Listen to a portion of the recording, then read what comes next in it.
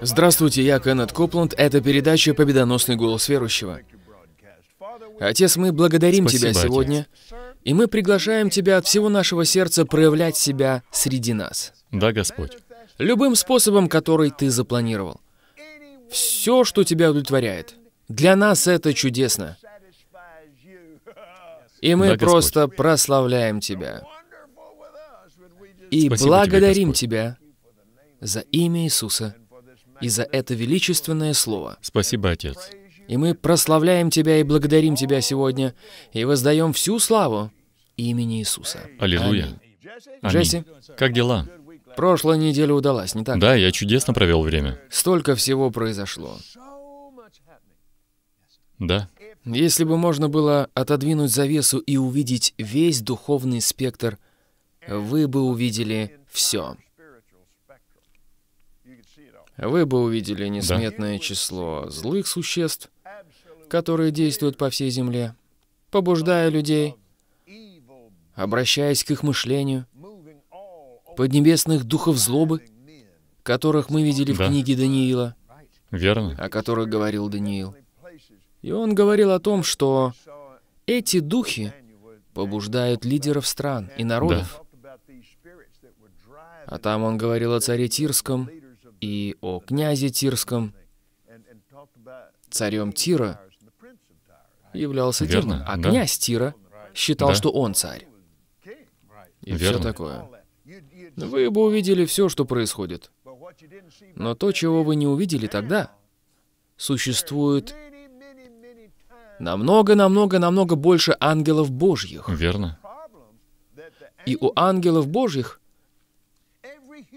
возникает проблема. Дело в том, что у каждого человеческого существа на этой земле есть ангел. Иисус так сказал.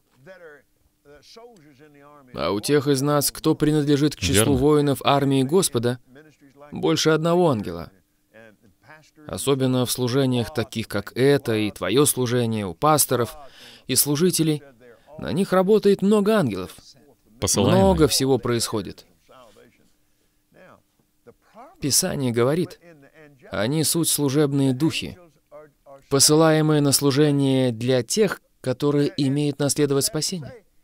Верно. И в чем проблема в ангельской сфере?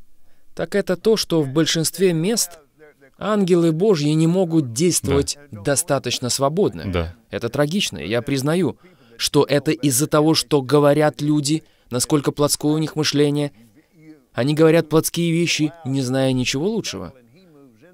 Но существуют также и другие люди, которые Да. знают лучше, но все равно ведут себя таким Верно. образом, и это трагично. Потому что таким образом вы даете Конечно. место дьяволу, и он приходит, и тогда ваш ангел, которого послал Бог, немного может сделать. И дело не в том, что он полностью беспомощен, но все равно. И вот что посетило меня, когда мы начали передачу. Да. Вы можете увидеть все, что происходит. Вы бы увидели несметное количество ангелов, Да, которые действуют, все устраивают, все уже готово, все приготовлено. И в духовной сфере это очень массивно, мощно. И они готовятся, они действуют, и это уже переходит на континент Африки, и там происходят абсолютно феноменальные чудеса. В Библии сказано, что ангелов целая тьма. Их тьма. И сатана забрал одну треть. То есть на каждого демона получается по два ангела. По крайней По мере. крайней мере. Понимаете? Да. Не знаю, замечали ли вы это? Когда помазание становится, как мы его называем, тяжелым. Бывали случаи, не знаю, бывало ли это с тобой? Я переживал это. Когда дары Духа текли через меня, возможно, даже не на одной конференции верующих. Я был на сцене, и я уже готовился сойти вниз. Я буквально чувствовал, как что-то проскочило мимо меня. Я ничего не видел, но я чувствовал, как будто бы... И иногда я делал вот так. Я думал, возможно, кто-то прошел мимо. Кто знает. Я действительно верю, что ангелы готовы. Они ждут приказания, когда прозвучит Слово Божье, выступать и исполнять его. Да. Иногда я чувствовал это физически. Со мной это бывало, и это бывало физически. Я действительно мог физически чувствовать, как будто бы кто-то прошел мимо меня. Есть люди, которые говорят, что ангелы нереальны. Они очень реальны. И в Библии сказано, что вы оказываете им гостеприимство. Советую поверить, что они И люди реальны. не осознают, что ангелы слышат каждое плохое слово, которое вы произносите. И они слышат каждое доброе Вы слово, которое вы произносите. Они не могут действовать, если им не разрешают. Да, И они не эмоциональны, как люди. Они созданы Богом, который есть Верно. любовь, поэтому Да. они являются существами, созданными любовью. да, И Бог сказал Моисею, «Я поставлю здесь ангела. Не раздражайте его, потому что он не простит вам. Он не может. Это не верно. вложено в него». Да. Это не его Один задание, мужчина да. свидетельствовал, что он проснулся посреди ночи, и у него были проблемы с сердцем. Он верил Богу о своем исцелении. Он проснулся посреди ночи и увидел стоящего рядом ангела. Он держал свою руку на его груди. Тот мужчина проснулся, и ангел сказал, «Засыпай снова, все хорошо». И когда он проснулся на следующее утро, у него было новое сердце. Но поймите, мы раздражаем наших ангелов словами, которые мы говорим. Такими глупыми Да. шутками. «О, я напугался до смерти». Каждый раз, когда мы планируем поездку, дети болеют. И тому подобными словами. И эти ангелы стоят рядом Почему и они говорят, говорят так? зачем они говорят таким образом? Да. Мы же здесь, чтобы помогать. Да что с ними не так? Напомни Хорошо. мне до конца этой недели. Хорошо. Я покажу вам одну фотографию. Я показывал ее вчера вечером Джесси. Я был в Нигерии, в городе Лагос, в церкви Ханаанская земля, епископ Дэвид Оедепо. Их церковь вмещает 50 тысяч человек. Они проводят пять воскресных служений. И вот что произошло сразу после моего отъезда. Это было в мае Да. и в мае и июне. Епископ приехал сюда несколько дней тому назад и показал мне вот это.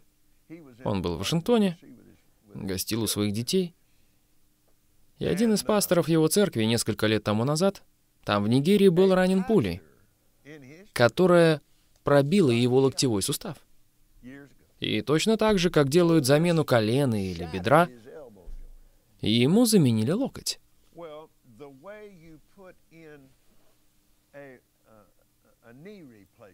Ему заменили локоть. Да. Это был стальной сустав Вставили из кусок одного стали. цельного куска стали, который шел таким образом, и они сгибают его посередине, а сустав вот здесь. И здесь у вас кусок стали. Кусок стали входит в кость с двух сторон, и он мог сгибать его. С первого же дня он чувствовал боль, очень сильную боль все время. Он постоянно жил с ней. И Господь сказал ему, он молился, верил Богу, и сразу после нашего служения в его церковь туда пришло 138 тысяч человек. Конечно же, церковь выросла еще больше. Им пришлось добавить еще одно служение в воскресенье.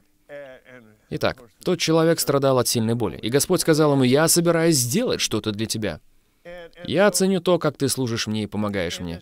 Поэтому я хочу сделать что-то для тебя».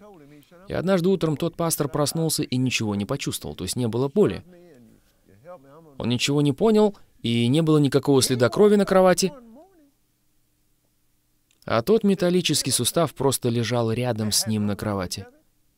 У него стоял совсем новый локтевой сустав. Бог дал ему новый локтевой сустав, и не было ни одного шрама на руке. Видите? Да. Это работа ангелов Божьих. И, конечно же, Дух Божий стоит за этим. Да, но ангелы — слуги, которые исполняют Верно. это. Да. Ангелы — это служебные духи, которые И делают это эту было работу. оставлено как свидетельство работы, которую совершил ангел, пока человек спал. Он Я видел рядом, это. этот сустав. Ты показывал мне эту фотографию вчера вечером. Ты можешь это доказать, потому что на этом суставе есть серийный номер. На стальном суставе. Здесь серийный номер доктора, идентификационный номер этого мужчины, дата, когда была произведена операция и все такое. Все это здесь, есть на этом металлическом суставе. Это И потрясающе. что меня поражает, когда брат Кеннет показал мне это вчера, когда делают такие операции, кость нарастает вокруг сустава. Точно так же, как вам ставят имплантант, Верно? зубы. Да. Они вставляют туда искусственную кость, чтобы она послужила основой, Верно. и чтобы кость могла нарасти Я увидел вокруг. это на этом суставе. С одной стороны была искусственная кость, и можно было увидеть форму этой кости, но с другой стороны была зазубренная кость. Просто удивительно. И вот к чему Это я все это веду. удивительно. Если это зажжет в вас какую-то веру, и вы возьметесь за обетование Слова Божьего, и вы начнете применять свое исповедание Слова Божьего, Слава Богу. обратитесь к первой главе послания к евреям, где сказано, что все они суть Слава. служебные духи, посылаемые Аминь. на служение для тех, которые имеют наследовать спасение. И храните свои уста в порядке. Аминь. Пусть Слово Божье будет в ваших устах. Вы стоите перед своим первосвященником, который прошел небеса. Иисус, Сын Божий. Твердо держитесь Аминь. исповедания. Когда вы поступаете таким образом, Да. эти ангелы исполняют свою работу. С вами, со мной и с Джесси происходило много всего разного. И с любым другим человеком веры на земле, о котором Верно. вы даже не знаете. Возможно, вы даже не подозревали, что избегали опасности в каких-то местах. Верно. Возможно, вы даже не знали об этом. И мне нравится, что Господь сказал ему, «Я совершу что-то для тебя». И я чувствую очень сильно в своем духе, что кто-то, этот человек страдал от боли, и Господь не получал удовольствия Да. от страдания этого человека.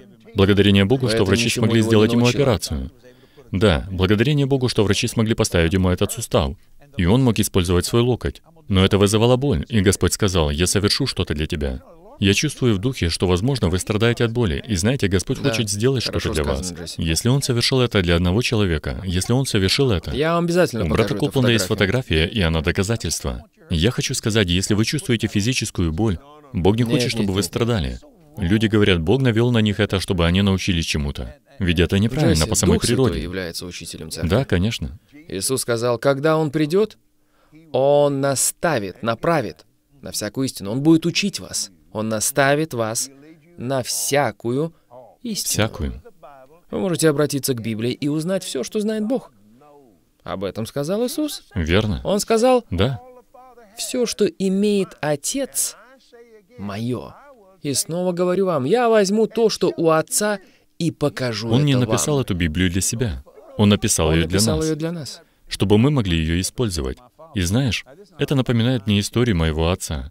Это произошло, когда мне было приблизительно 9 или 10 лет. Я очень сильно растянул большой палец руки. Он очень болел, и отец спросил меня, пойду ли я в церковь, когда он собирался, и не сыграю ли я там песню. А я ответил, папа, я еле-еле могу пошевелить этим пальцем. Он ответил, знаешь, ты можешь Просто держать медиатор вот так, немного побремчать. Это была очень маленькая церковь в городке Бурас в штате Луизиана. Я никогда этого не забуду. Мы поехали туда. Церковь называлась Скиния Маяк. И интересно, что я помню это до сих пор. Я поехал туда, играл там, и пастор этой церкви сказал, «Молодой человек».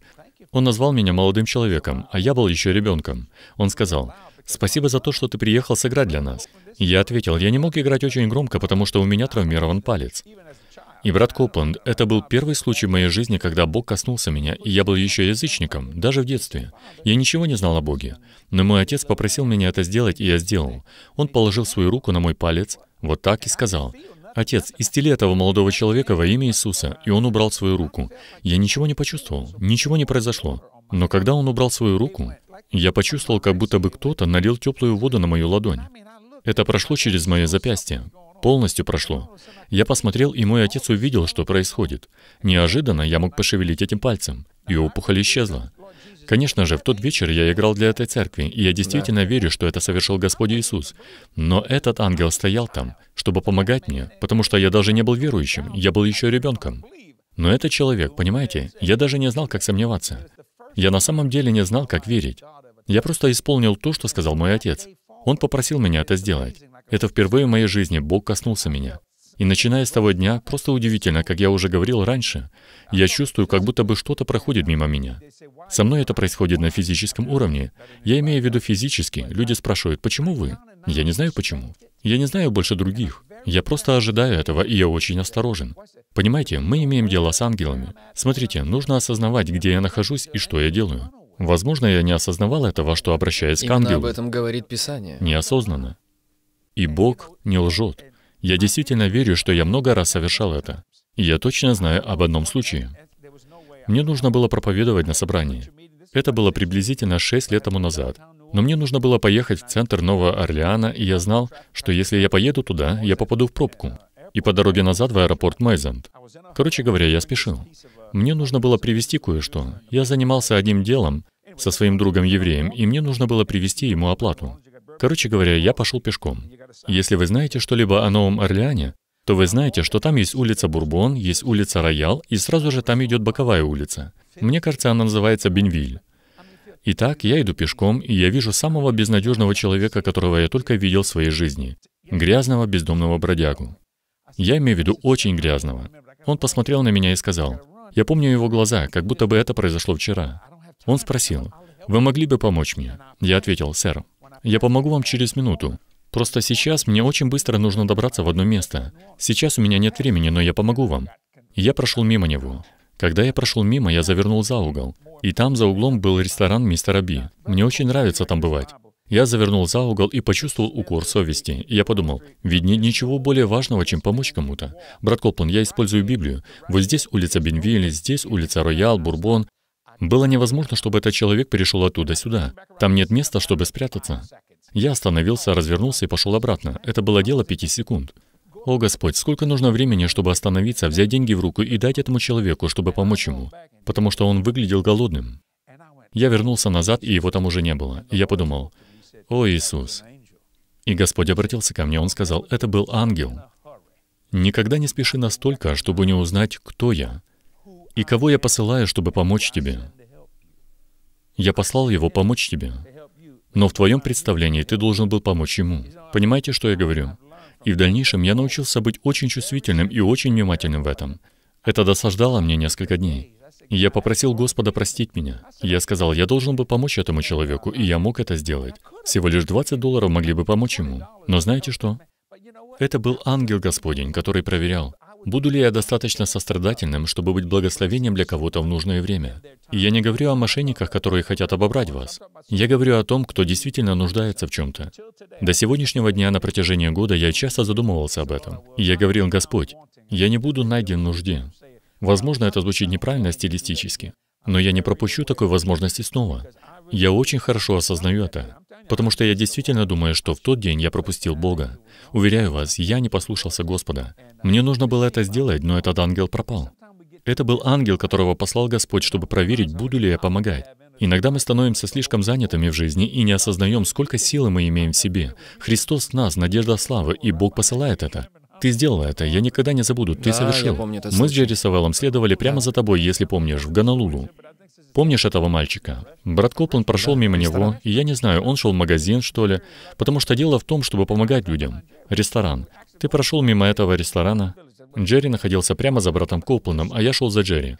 Вообще-то мы возвращались назад в отель Хилтон в гавайской деревне. Неожиданно брат Копланд остановился. Ты обернулся. Помнишь это? Да. Ты вошел в этот ресторан, не могу вспомнить его название, небольшой ресторан со стейками, что-то такое. Ты вошел в него, подошел к этому человеку и сказал, «Господь сказал мне благословить вас». Не думай, Нет, что ты знал знал. его. Ты не знал этого человека. Он Я просто проходил мимо, его, смотрите. он работал там. Он работал там. И Господь побудил тебя сделать что-то. Понимаешь, ты мог бы сказать, как же так? Но этому человеку нужна была помощь. Брат Коплан засунул руку в карман и дал этому человеку деньги. И мы уже научены, поскольку мы проповедуем вместе. Джерри сказал, он же не собирается получить все благословения только для себя. Я посмотрел на Джерри, и я сказал, «И ты не собираешься получить все благословения для себя». И мы благословили этого человека, и я помню, слезы выступили у него на глазах. Он отчаянно нуждался в помощи. Что мне нравится в тебе, ты был достаточно чувствительным, чтобы послушаться Бога, просто идя по улице. И не обязательно знать человека, чтобы быть для него благословением. Если хотите, можете с ним познакомиться, но я говорю, что это не обязательно. Я верю, что Бог направляет нас. Это началось с тебя. Он направил тебя, и когда ты сделал это, мы сразу же последовали твоему примеру. Я никогда этого не забуду. Это было много, много лет тому назад. И я думаю, этот человек тоже никогда этого не забудет. Он был настолько Я шокирован, просто что ты сижу сделал здесь, это. слушаю тебя и слушаю в то же время Господа. Человек, который оказался ангелом, он выглядел просто как обычный мужчина. Если бы ты просто проходил там, ты бы даже Да. не обратил на него внимания. Если Господь сказал, я Верно. хочу, чтобы ты помог этому человеку, ты был настолько занят, что даже не услышал этого. Да, Ты просто проходил мимо. я понимаю, да. Ты проходил мимо этого. Возможно, это уже происходило с полдюжины раз. Ты даже не знал этого. Даже не знал, да. Но этот человек привлек твое внимание, потому что он выглядел ужасно. И он привлек твое внимание. В его глазах я увидел безнадежность. Да. Но ты был слишком занят, чтобы услышать Да. Бога. Да, Ты услышал человека, ты Да. захотел помочь ему, Да. но ты все еще не слышал Бога. да, Ты пошел дальше, и тогда ты почувствовал осуждение от Господа. Тогда верно. Бог развернул тебя обратно, и ты вернулся, Да. чтобы никогда не забыть этого. Я никогда не забывал этот случай. Но ты не знаешь, сколько раз ты уже упускал такую возможность. Да. И я не знаю, сколько раз я Да. упускал Бога. И Бог исправлял меня и возвращал меня обратно. И ты говоришь, слава Богу. Очевидно, что были случаи, когда мы не слышали Конечно. Бога. И мы даже не знали, Мы даже не что знали мы не слышали да. Его. И Бог просто покрыл тебя своей милостью и помог тебе. Ты был достаточно близок к Нему, чтобы Он мог поработать с тобой, научить тебя и покрыть это. И мы с тобой или кто-либо другой достаточно понятливые, Верно. чтобы услышать и принять исправление, даже не связывая это с предыдущей Знаешь, как он ситуацией. исправил меня? Я знаю, что наше время подошло к концу. Вот что возникло в моих мыслях.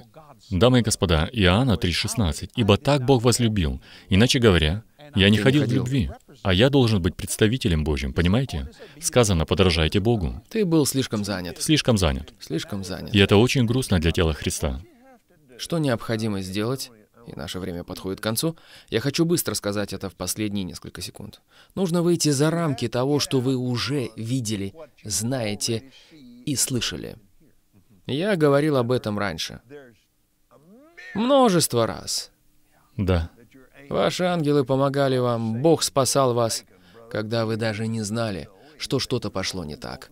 И вы до сих Да. пор не знаете этого сегодня. И мы с тобой не знаем, сколько раз мы упускали такую возможность, но Бог пытается благословить вас сто раз в день, да, а вы упускаете 99 возможностей.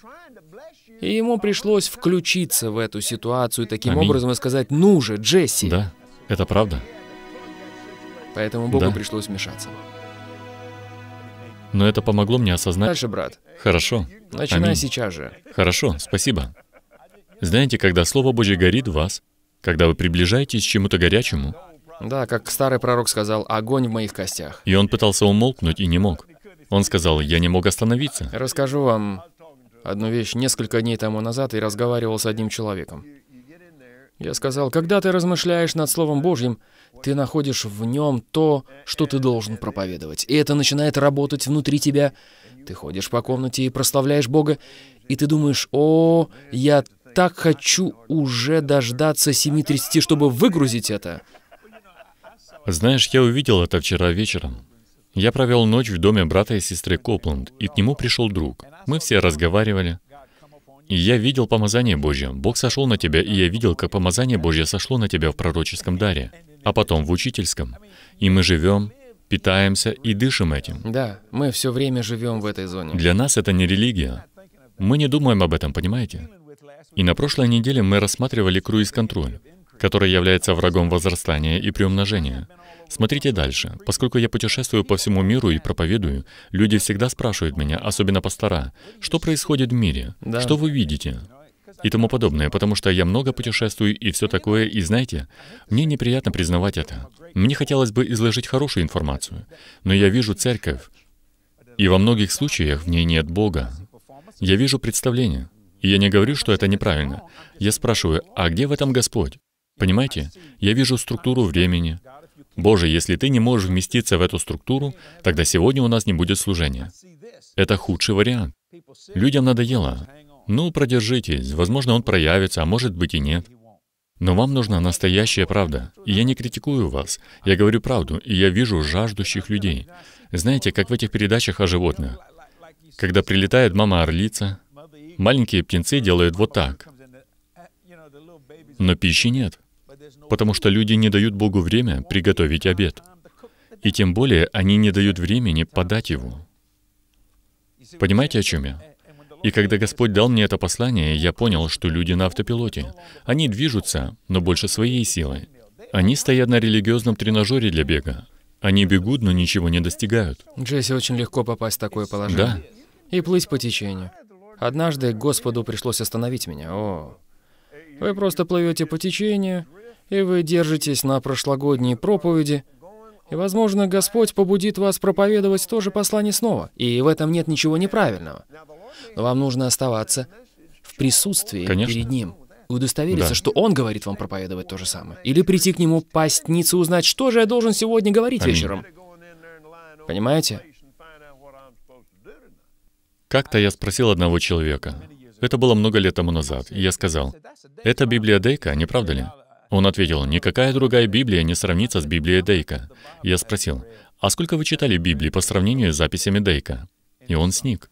Я спросил, «Вы купили эту Библию? Нет ничего плохого в записях Дейка. Поймите меня правильно». Да, они очень полезны, это здорово. Но он не читал Библию. Да. Он не читал Писание. Он читал написанное на полях. Он читал написанное на полях. И когда вы читаете написанное на полях, вы останетесь на обочине. Понимаете, что я хочу сказать? Вы на очень узкой территории. Написано здесь сочное, вы наслаждаетесь этим. И если вы не будете осторожны, вы начнете проповедовать то, что на полях, не обращая внимания на то, что написано на самой Один странице. мужчина подумал, что он говорит мне комплимент. Он сказал, знаете, брат Джесси, не могу дождаться, когда получу ваш журнал. Я сказал, что ж, спасибо вам. Он сказал, я проповедую то, что в нем написано. Я ответил, мне очень приятно, но когда вы читаете свою Библию? Я сказал, я изучаю ее для вас. Я благодарю вас за то, что вы читаете мой журнал. Спасибо.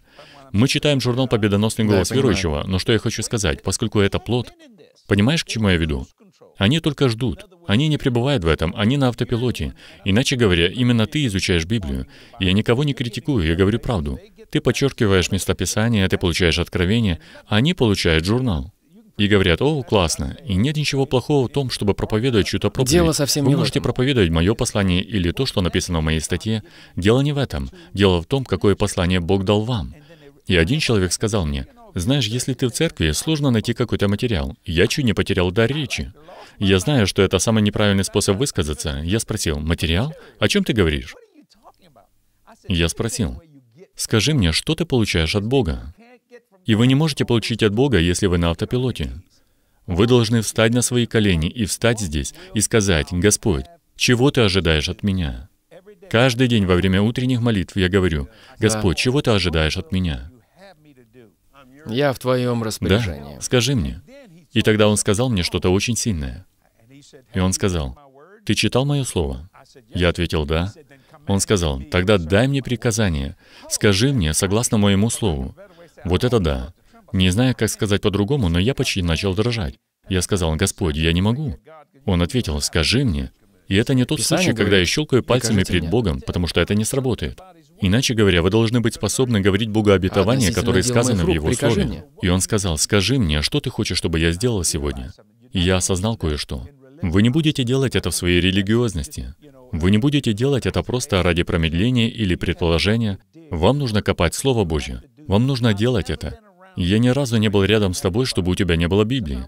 Иногда мы вместе едем на мотоциклах, и я хочу сказать, ты берешь с собой всю свою необходимую одежду, и брат Копланд и сестра Копланд, мы все берем с собой наши Библии. И если вы скажете, ну, у вас отпуск, мы не берем отпуск от Слова Божьего. Расскажу тебе, что сказал мне Господь. Это было еще в то время, когда я только начинал. Он сказал это так.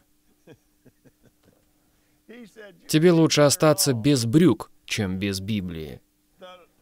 Я переспросил. Что? Он ответил, ты можешь взять мое слово и приобрести себе брюки. О, Господь. Но он сказал, если ты останешься без своей Библии, ты в беде. И он добавил, беде? теперь Да. ты будешь зарабатывать все своими У силами. тебя нет меча. И ты будешь полагаться только Да, на свою память верно. и все такое. И он сказал, если ты не используешь Слово Божье правильно, когда ты в ресторане или еще где-то, ты знаешь, где находится Библия. Сразу же. И ты просыпаешься утром, Конечно. читаешь свою главу, Да. исследуешь свою Библию, размышляешь. И, Джесси, скажу тебе, где я потерпел неудачу? Ты знаешь Смита Вигельсворта. Это был великий апостол веры 20 века, боже мой. В чем служение было 17 задокументированных случаев воскрешения из мертвых. И Смит уже в достаточно Да. зрелом возрасте научился читать именно по Библии. Он до этого не умел читать. И поэтому он никогда не читал никаких газет за всю свою жизнь. И он умер, когда ему было 80 с лишним лет. И он читал только Слово Божие, потому что научился Мой читать Господь. по Слову Божьему, и только его и читал. А до этого он был неграмотным слесарем, пока Бог не спас его и полностью поглотил его. Однако его спросили, как же он готовит свои проповеди? И Смит ответил, конечно же, я изучаю свою Библию. Но когда приходит время готовиться, чтобы выходить и проповедовать вечером, Я провожу значительное количество времени, молясь на иных языках. Да, но, брат Копланд, я не знаю, как это делать. Я не знаю, как это делать. Встаньте сейчас на свои колени. Иисус сказал, Отец даст Духа Святого всем, кто попросит Его об этом. Поэтому Верно. попросите Его. И Смит сказал, я провожу свое время, благословляя Господа. Я провожу свое время, созидая себя, назидая себя на святейшей вере, молясь Духом Святым. И я выхожу вечером и благословляю людей. Разве Орал Робертс не говорил тебе, не возлагай руки на человека, пока ты не будешь Да. готов высвободить свою веру? Это Да. то же самое, просто Именно так, другая да. аналогия. Не делай ничего, пока не будешь готов высвободить свою веру в этом. И вера приходит от слышания, а слышание от Слова Божьего. Да, И вера действует любовью. Эти элементы должны быть Да. здесь, когда вы обращаетесь к 13 главе первого послания к Коринфянам. Вы видите, что без любви вы можете вывести из игры все девять даров Духа. Вы можете перечеркнуть все свое даяние. Даже если я отдам свое тело на сожжение, дело не в том, чтобы облить его бензином и прочее. Конечно же, не в этом. Имеется в виду сгореть для Бога, работать для Него. да, Но это не конечно. принесет вам никакой пользы, если Верно, в этом да. нет любви Божьей. Да. Понимаете? Что ж, Бог есть любовь. Да. Становясь более зрелым в Господе, я понимаю, что нужно быть очень чувствительным духовно, физически и финансово. И это не обязательно только в церкви. Это может быть и за пределами церкви. Вот что Господь сказал мне о возрастании и приумножении. Он сказал, «Джесси, тебе нужно слышать мой голос за пределами церкви точно так же, как и внутри». И я спросил, что ты имеешь в виду, Господь? Я не знал, что Бог собирался сказать, и Он сказал, «Богатство грешников не в церкви, но оно должно быть там». Если ты будешь слушать меня, я покажу тебе, где оно за пределами церкви. Точно так же, как и в церкви. Когда в церкви говорят, что служение закончилось, и ты садишься в машину и едешь домой, это не останавливает меня, я продолжаю говорить. Объясни немного эту фразу о богатстве грешников. Нас слушают люди, которые не Хорошо. совсем знают это место Хорошо, Писания. богатство грешника сберегается для праведного. Иначе говоря, все, что вы видите, все, духовно, физически, финансово, я скажу это так, это для вас. Эта планета была создана для нас, для тела Христа. Потому что когда Бог создал человека, не было никаких грешников. Она не была Да. создана для грешников. Понимаете, о чем я? Это было создано для семьи Божьей. И что произошло? Я говорю это на телевидении. Сейчас у нас расставлены камеры по всей этой чудесной студии. Но вы знаете, когда задумывалось телевидение, у церкви была возможность овладеть им. Была возможность использовать его. Но в церкви проповедовали против телевидения. Они называли его одноглазым демоном. А теперь, посмотрите, кто-то проповедует по этому одноглазому демону. Джесси, на ступенях федерального здания в Вашингтоне раздавали телевизионные лицензии. И люди, которые собирались там, получили их. Оригинальные лицензии. И в той Боже мой. толпе не было ни одного проповедника. Да, Через 10 лет нам приходилось верить Богу и сражаться с дьяволом, меня это удивляет. чтобы вернуть телевидение в руки Божьи. Понимаете? Верно. Вот так. Да. У нас вообще не должно быть финансовых трудностей. Если эта планета, как сказано в 113-м псалме в 24 стихе, вам нужно прочитать это. Господь говорит, небеса, небеса для Господа. То есть речь идет о Вселенной, а землю Он отдал сынам человеческим. Но если вы не принимаете владычество над нею, вот что происходит. Знаете, я ходил в церковь на прошлой неделе. Что ж, дьявол тоже. Он не пропускает даже служение по средам вечером. А вы? Я не хочу быть жестоким, но то, что я говорю, что происходит? Дьявол ищет, кого ему поглотить. Да. Видите ли, проблема, которую я вижу здесь. Как мне сказать это, Господь? Помоги мне. Вы ходите в церковь так, как будто вы идете в ресторан. И вам подают меню. Вы смотрите на меню. Вы заказываете блюдо, понимаете? Садитесь, ждете. И вы так и не получаете пищу, но вам приносят счет. Очень часто именно так построена сейчас церковь. Вы получаете счет. Вы должны помогать. И мы не против помогать. Дело не в этом. Но для меня, когда я иду в церковь, я хочу научиться чему-то. Я принял решение, когда родился свыше, что каждый раз, когда я захожу в здание церкви, мне лучше чему-то научиться. Если я ничему не научился, тогда я не слушал. Я не собираюсь критиковать этого пастора. Это не твоя работа критиковать. Но я думаю, что 99% всех консультаций даже не произошло бы, если бы люди прислушивались к Слову Божьему. Это правда, да. Понимаете? Потому что если этот пастор, он или она, неважно, если они проповедуют это Слово Божье под помазанием, которое Бог дал нам, то, что я называю предварительно расфасованным служением, или проповедью, вы все равно получите ответ, то ли духовный, то ли физический, то ли финансовый, любой. И когда Господь сказал мне это, приведу хороший пример. Я проезжаю мимо одной земли. Господь сказал, «Я хочу, чтобы ты слышал мой голос за пределами церкви. Богатство грешника сберегается для праведного». Я сказал, «Хорошо». Я ничего даже не думал о ней. Я просто проезжал мимо этого участка. Он был запущен, Кеннет. Я имею в виду, если бы я был тараканом, я бы не хотел жить там, понимаешь? Он сказал И Господь это. сказал мне, «Купи эту землю». Да, купи ее. И знаешь, нужно быть идиотом или кейджином для того, чтобы спорить с Богом, когда речь идет о решениях в бизнесе. О, да. Полным идиотом. Он говорит, купи эту землю. Я ответил, Господи, я не я. И в конце концов я покаялся, я сказал, хорошо, я приобрел ее. Я заплатил за нее 125 тысяч долларов, понимаешь? А теперь я расскажу вам о том, что я там устроил. Это произошло несколько лет тому назад.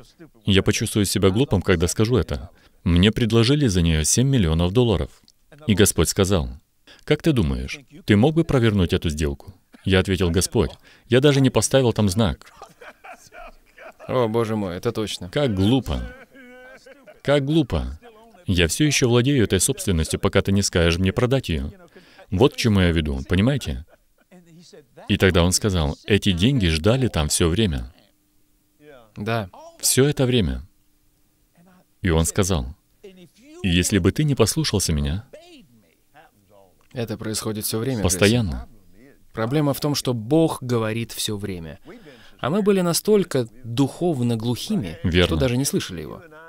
Мы с тобой, Джерри, все остальные, мы сталкиваемся с этим каждый день.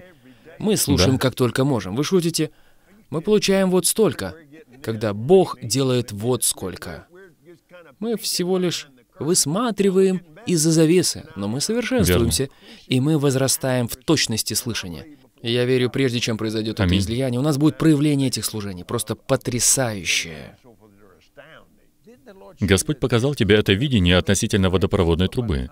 Или что это было? Когда он доходит до крана. Ты помнишь это? Я был на служении в 1968 году в городке Штраут, Оклахома.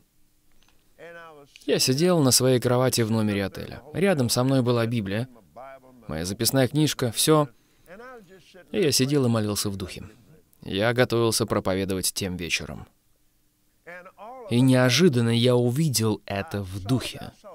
Я не видел это физически, но я увидел это в духе, внутри. Я увидел эту трубу, приблизительно вот такого диаметра, около 12 сантиметров, совсем недалеко от моего лица, вот так. И эта труба была приблизительно метр или чуть больше в длину, по крайней мере. Она шла под углом в 45 градусов. И с одной стороны, в эту трубу била сильная струя, а с другой стороны текла маленькая струйка. Я мог почувствовать это на своем лице. Небольшое облако водной пыли, достаточное только для того, чтобы раздразниться. Я сказал, Господь, что это? Он ответил, это труба, твой дух, О, Господь. а эта вода — моя слава. Твоя труба наполнена нераскаянным грехом. Я спросил, что же я сделал? Он ответил, нарушил заповедь Боже мой. любви. И он напомнил мне то, что произошло как раз перед тем, как я поехал из дому, несколько дней до того, до этих служений. Прямо на углу, где ты сворачиваешь на шоссе на свою улицу, сидел мужчина в пикапе с горой дынь. И Глория купила их. Целый мешок. Привезла домой. Две дыни были хорошими, остальные вообще ни на что не годились. Я подумал, вот негодяй. Я поеду туда и всыплю ему хорошенько. Мне это не нравится. Господь остановил меня. Я сказал, ну да, ты знаешь, мне это не нравится. Я все еще злился на этого человека, когда приехал на те служения. Понимаете, я злился. Я бы спорил с Богом. Я бы сказал, да, легко тебе говорить. Ведь ты же не любишь мускусные дыни, а я люблю. Да, я могу покаяться после того, как Да. всыплю этому человеку. Я просто забыл об этом и поехал домой. И он сказал, потому что ты не осознаешь важность хождения в любви и нарушаешь заповедь любви. Ты не обращаешь на это никакого внимания. Он сказал, твой дух просто забит, загрязнен, захламлен. И мне очень сложно пробиться через эту пробку. Я слышал, как Билл Уинстон описывал, что произошло с ним. Практически то же самое. Бог показал ему банку. Стеклянную банку, наполненную мутной водой. И Господь сказал, Весь этот ил, вся эта взвесь в воде, он пытался просветить эту воду светом. И свет не проходил через эту мутную жидкость. Свет не забит. проникал через эту воду. Да. И Бог сказал Биллу Уинстону, это твой дух, который наполнен грязью. Он захламлен, забит. И вот что он сказал Да. мне. Он также наполнен ненужными вещами, с которыми Да. тебе даже не нужно иметь дело. Это не так важно для твоей жизни, но ты посвящаешь этому слишком много времени. Да. И Билл Уинстон сказал, Да. Откровение слов его приносит свет, но свет не мог проникнуть через этот ил. Поэтому все очень просто. Я сказал, Отец, я сужу себя в соответствии со Словом Божьим. Да. Я прошу тебя судить мое сердце. И во имя Иисуса, согласно первому посланию Иоанна 1.9, я верю, что принимаю свое прощение, потому что Слово Божье говорит, что ты верен и праведен, простить Да. мне мои грехи, когда я исповедую их, а не тогда, когда я почувствую себя лучше, Верно. когда угрызение Да. совести оставит. Когда я исповедую их. Но тогда, когда я исповедую их, И он очистил эту и ты трубу. очистишь меня от всякой неправедности. Он очистил эту трубу Джесси, и это изменило эти служения. Аминь. Исцеляющая сила Божия просто увеличилась. И что произошло? Маленькая струйка стала проливной Да, она била фонтаном Да.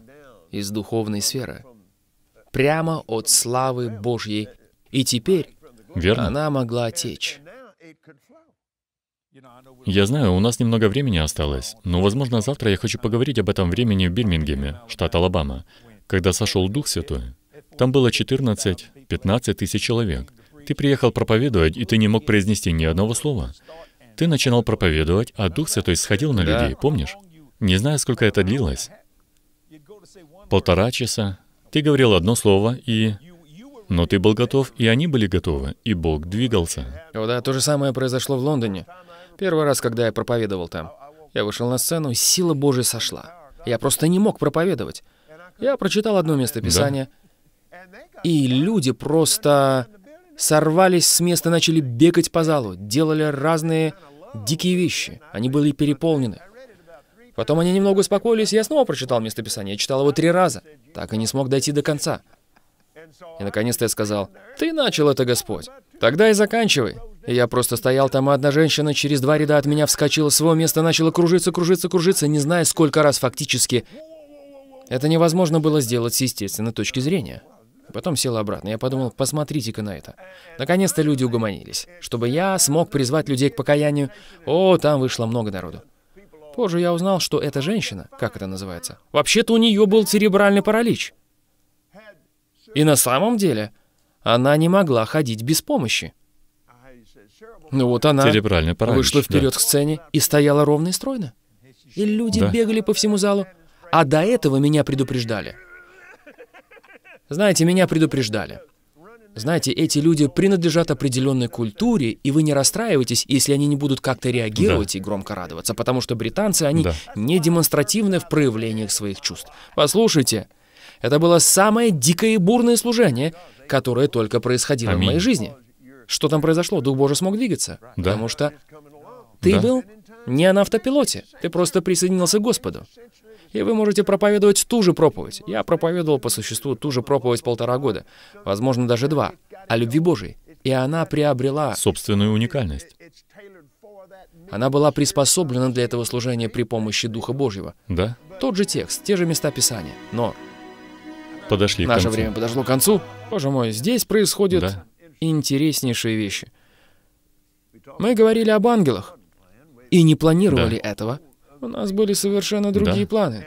Но как только я открыл свои уста, это просто вышло из них. И я увидел это в духе, и это удивительно. Это просто Аминь. удивительно. Аминь. Ты начал передачу и позволил Господу говорить через тебя.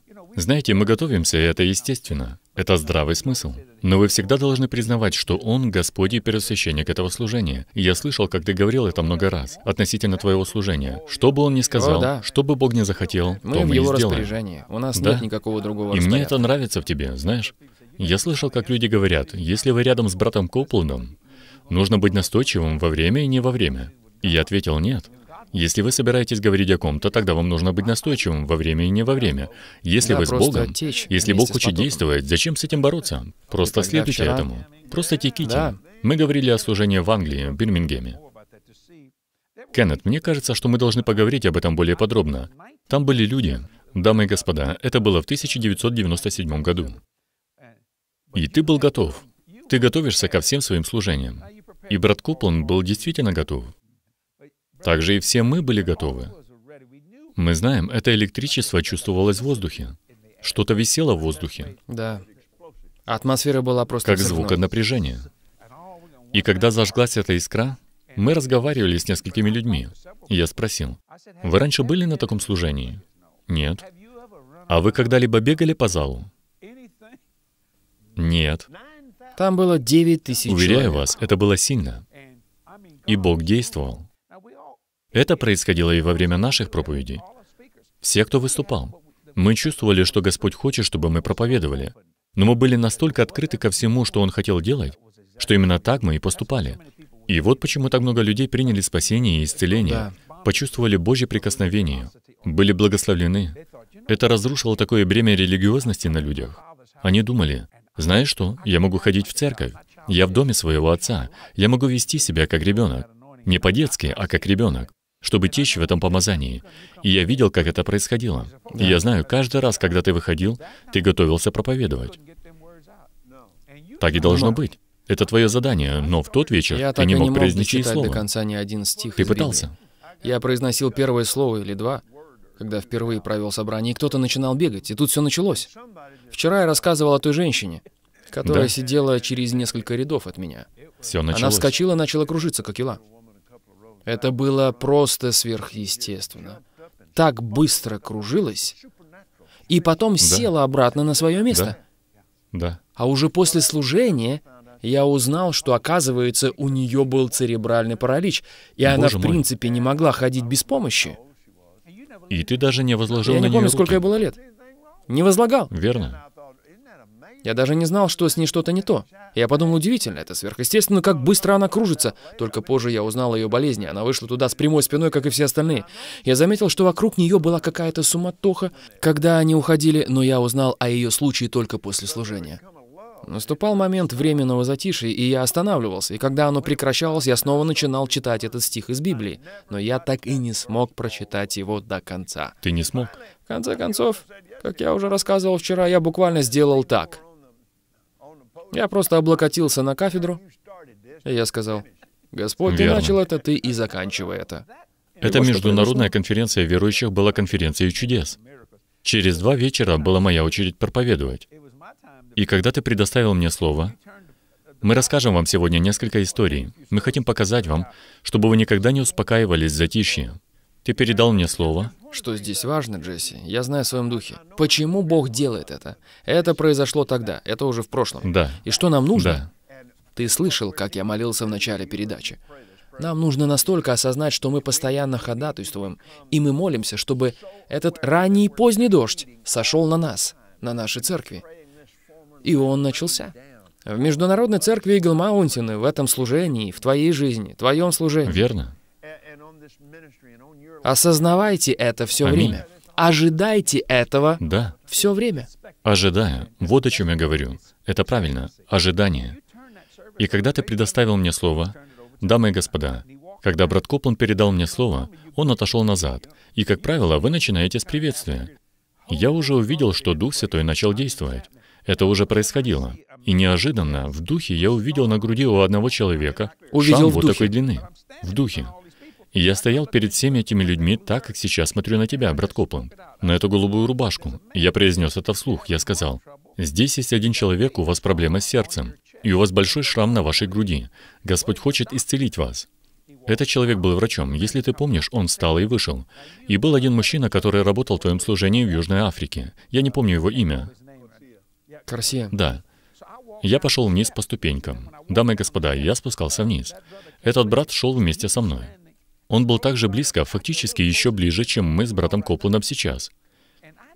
Я еще никогда не делал это в своей жизни. Я протянул руку и расстегнул рубашку этого человека. Я оттянул его в сторону, расстегнул эту рубашку и увидел там большой шрам. И твой южноафриканский директор, Стив Гарсия.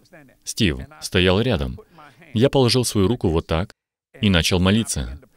Я не молился за шрам. Я молился, чтобы его сердце было исцелено. И я понимал, что у него была операция Да. на открытом сердце. Это можно было видеть. Но у него оставались проблемы.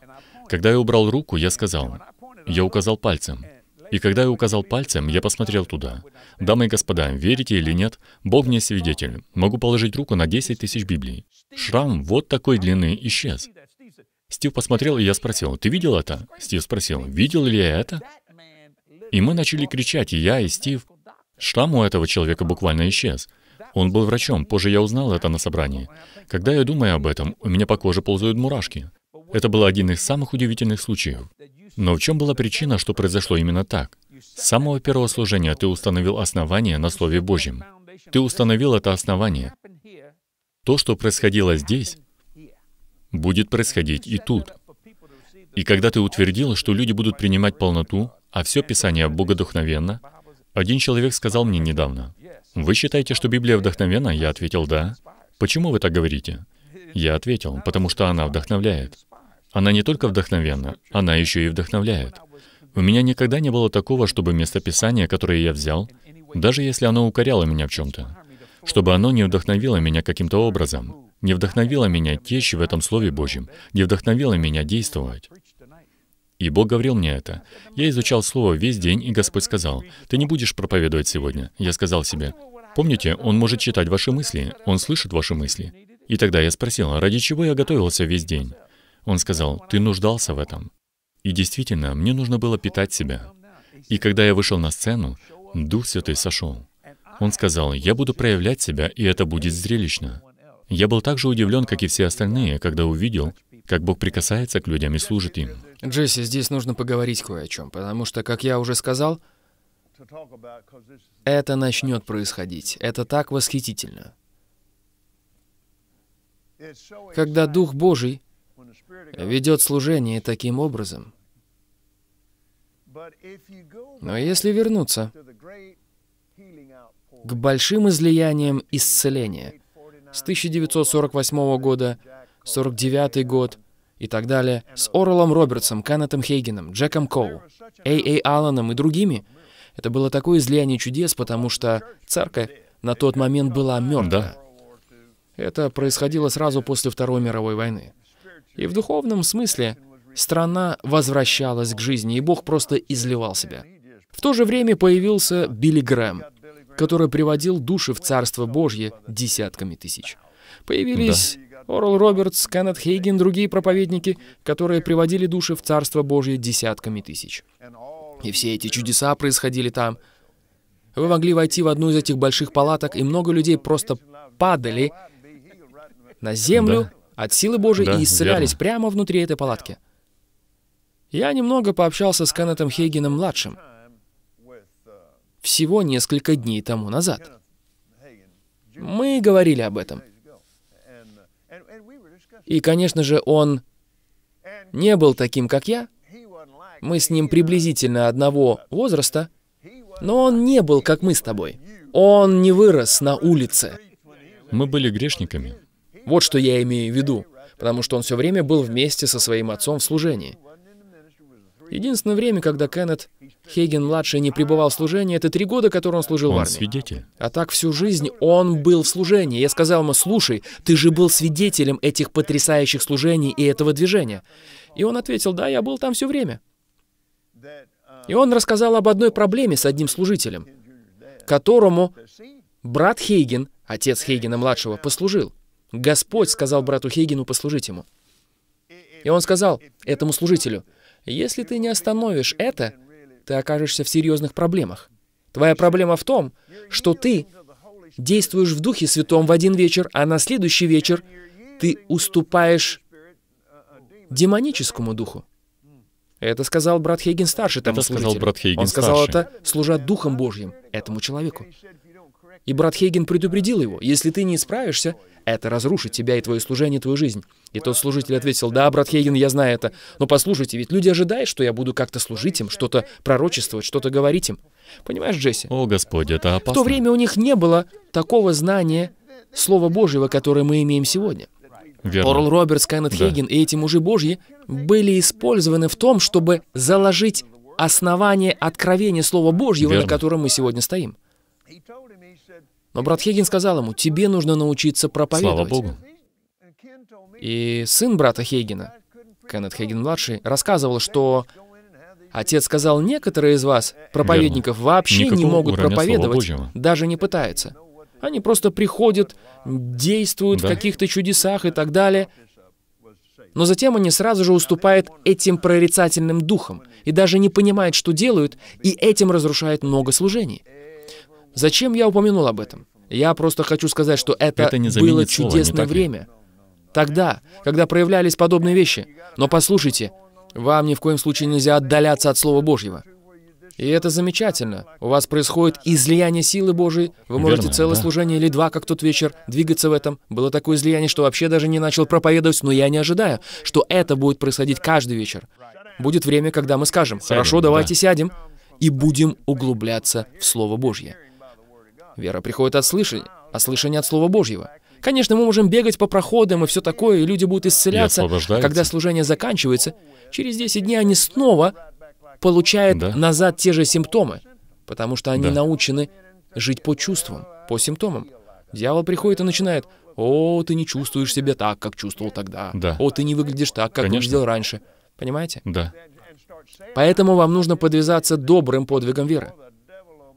Но если они не знают этого из Слова Божьего и начинают говорить, Да. «О, наверное, тогда на том Верно. собрании я ничего не получил», дьявол сразу же проникает сюда, начинает свою работу. Поэтому наше служение нацелено на то, чтобы обучить вас. Вот почему мы делаем то, Аминь. что мы делаем. Здесь. Когда это начинает происходить в вашей церкви, пасторы, а это обязательно произойдет. Если вы откроете свое сердце, излияние будет происходить в вашей церкви. И будут случаи, когда вы просто скажете, «Боже мой», как говорят люди, «да мы тут на люстрах висим». Это потрясающе, но будет также время, когда Аминь. вы скажете, «Хорошо, сейчас давайте успокоимся на минуту, потому что мы собираемся делать это согласно Слову Божьему». И Бог возвеличил свое Слово даже выше своего имени. Если вы обратили внимание, в вашей Библии записано множество чудес. Но там записано намного больше Слова да. Божьего. Понимаете, потому что именно Слово создало это Оно чудо. сказала, «Он послал Слово Свое и исцелил их». Верно. Если вы находитесь в присутствии этой исцеляющей силы, и, возможно, кто-то проповедует Слово Божие, например, как в книге Притчи, 4 главе. Давайте прочитаем это Да. местописание. Притчи 4.20. Хорошо. «Сын мой, словам моим внимай».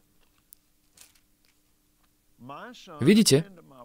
Слова стоят на первом месте. Да. Внимай, иначе говоря, уделяй Да, этому верно. внимание. А это прежде всего, на первом месте. Слова моим внимай, и кричам моим преклони ухо свое. Да не отходят они от глаз твоих. Храни их внутри сердца твоего, потому что они жизнь для того, кто нашел их, и здравие, то есть здоровье. Или, как сказано в еврейском тексте, лекарство для всего тела его. Вы можете исцелиться, просто читая места Конечно. Писания об исцелении Да. читая Слово Божье, веря Ему, произнося Его, исповедуя Его, действуя на основании Его. Кто-то может прийти на собрание. Он послал свое Слово и исцелил их. Проявление этого исцеляющего Слова может произойти через вас. Оно может прийти через кого-то сидящего там, кто молится и Верно. ходатайствует на служение. И вы должны делать это. Не надо просто приходить и сидеть сложа руки. Нет-нет, вы должны сеять в это служение. Вы должны сидеть там и молиться про себя, в Духе Божьем, ходатайствуя за движение Духа Божьего. Я молюсь за этих людей. Мы ходатайствуем за них. Мы молимся Верно. друг за друга, чтобы вам исцелиться, как написано в Писании. И все это происходит. Даже тогда, когда, возможно, Да. Слово не проповедуется, но это проявление Его посланного Слова. которое происходит в этом человеке. Конечно. Проявление все время Да. должно быть основано на Слове Божьем. И все должно быть ориентировано на Слово. Джесси, Да. Все время. И у вас должно быть место Писания, чтобы подтвердить то, что вы Да. говорите. Потому что, понимаете, когда в это вмешиваются духи гадателей, это разрушает церкви. И духи прорицательные. Вот именно таким образом люди занимаются колдовством и тому подобными вещами. То, как говорит прорицательный дух, даже может напоминать Да, какого-то человека и чей-то голос. да, И люди думают, да, это же он пришел и говорил. Но дух прорицательный — это такой дух, верно. который приходит и будет пытаться имитировать Бога. И люди не видят разницы, но этот дух Верно. знает вас. Он знает, он слышал Божий голос, он знает все Конечно. вещи, и он будет пытаться имитировать Да. Бога. Один дух пытался использовать меня. Это было в третьем, нет. Это было во второй половине второго года, когда я вошел в служение полного времени. Только начал служить. Я тогда был в Талсе, штат Оклахома, и проповедовал э, в этом здании, Шеридан Assembly. И я поехал в центр, даже не помню, зачем я поехал туда. Я поехал туда, чтобы решить какой-то вопрос в перерыве между служениями, и уже ехал обратно. И вот я шел по тротуару, подходил к своей машине, и ко мне пришло слово от Господа. Он говорил мне о каких-то вещах в моем духе. Я просто шел. Вернее, я молился в духе. Я не хотел быть там. Я лучше бы молился в своей комнате, конечно. Но вот я просто молился в своем духе и иду пешком по тротуару, и я услышал, как Господь сказал кое-что. «Я хочу, чтобы ты сделал это». И вот что произойдет, и так далее. И Бог говорил мне о служении. А потом Он сказал то, что я не знал, согласовывалось ли это с Писанием или нет, но мне понравилась эта идея. Это прозвучало так захватывающе, потому что это было мне на пользу. Но я сразу же остановился на месте и сказал, «Господь, а я не знаю, как насчет этого. Я просто отложу это на какое-то время». И я сел Да. в машину, вернулся обратно в свой номер, помолился об этом Да. немного. И после того, как служения закончились, я пришел к Господу в молитве и сказал, «Я бы хотел больше узнать об этой вещи». И когда я зашел номер, я все записал для себя.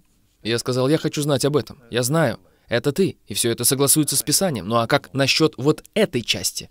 Где же это в Слове? Где подтверждение? И Бог сказал, этого нет в Слове. Я сказал, значит, это был не ты, не так ли? Бог сказал, да, это был не я. И знаете, это удручило меня, что я позволил влиянию другого духа прийти в мою жизнь. Бог сказал, я помогу тебе в этом. И Он позвал меня услышать это снова. И в этот раз это уже прозвучало правильно. И потом Бог произнес это. Знаете, это как пародисты. Они говорят что-то, и этот пародист звучит, например, как Фрэнк Синатра. А потом вы слышите, как вместе с ним поет настоящий Фрэнк Синатра, и вы понимаете, что они совсем не похожи. Но, знаете, это скопированная манера исполнения, все такое, это, конечно, забавляет. Понимаете, и тогда Господь немного приоткрыл завесу. Он позвал меня услышать голос этого демонического духа. Понимаете? И потом Бог сам произнес это для меня.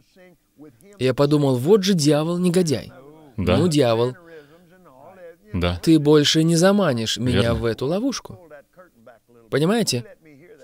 Дьявол исказил Слово Божье. И если бы я не уловил этого, да, я бы поверил этой искаженной лжи. И это звучало для меня Верно. очень хорошо. Мне понравилось это. И это касалось того, что я Да. стану очень знаменитым и все такое. И мы говорим, да, да, да, понимаете? Я был всего лишь два года Да. тогда в служении. Но я уловил, что это неправильно. От Что-то этого неправильно. исходил нехороший Да. запах. И в Библии есть один текст, там сказано «испытывайте духов». Именно это так. слово докажет это. Да, Но если вы не знаете, что это, если никто не проповедовал вам этого, он поймает вас на это. каждый раз. И не обязательно быть духовно взрослым, чтобы действовать дара Да. духа.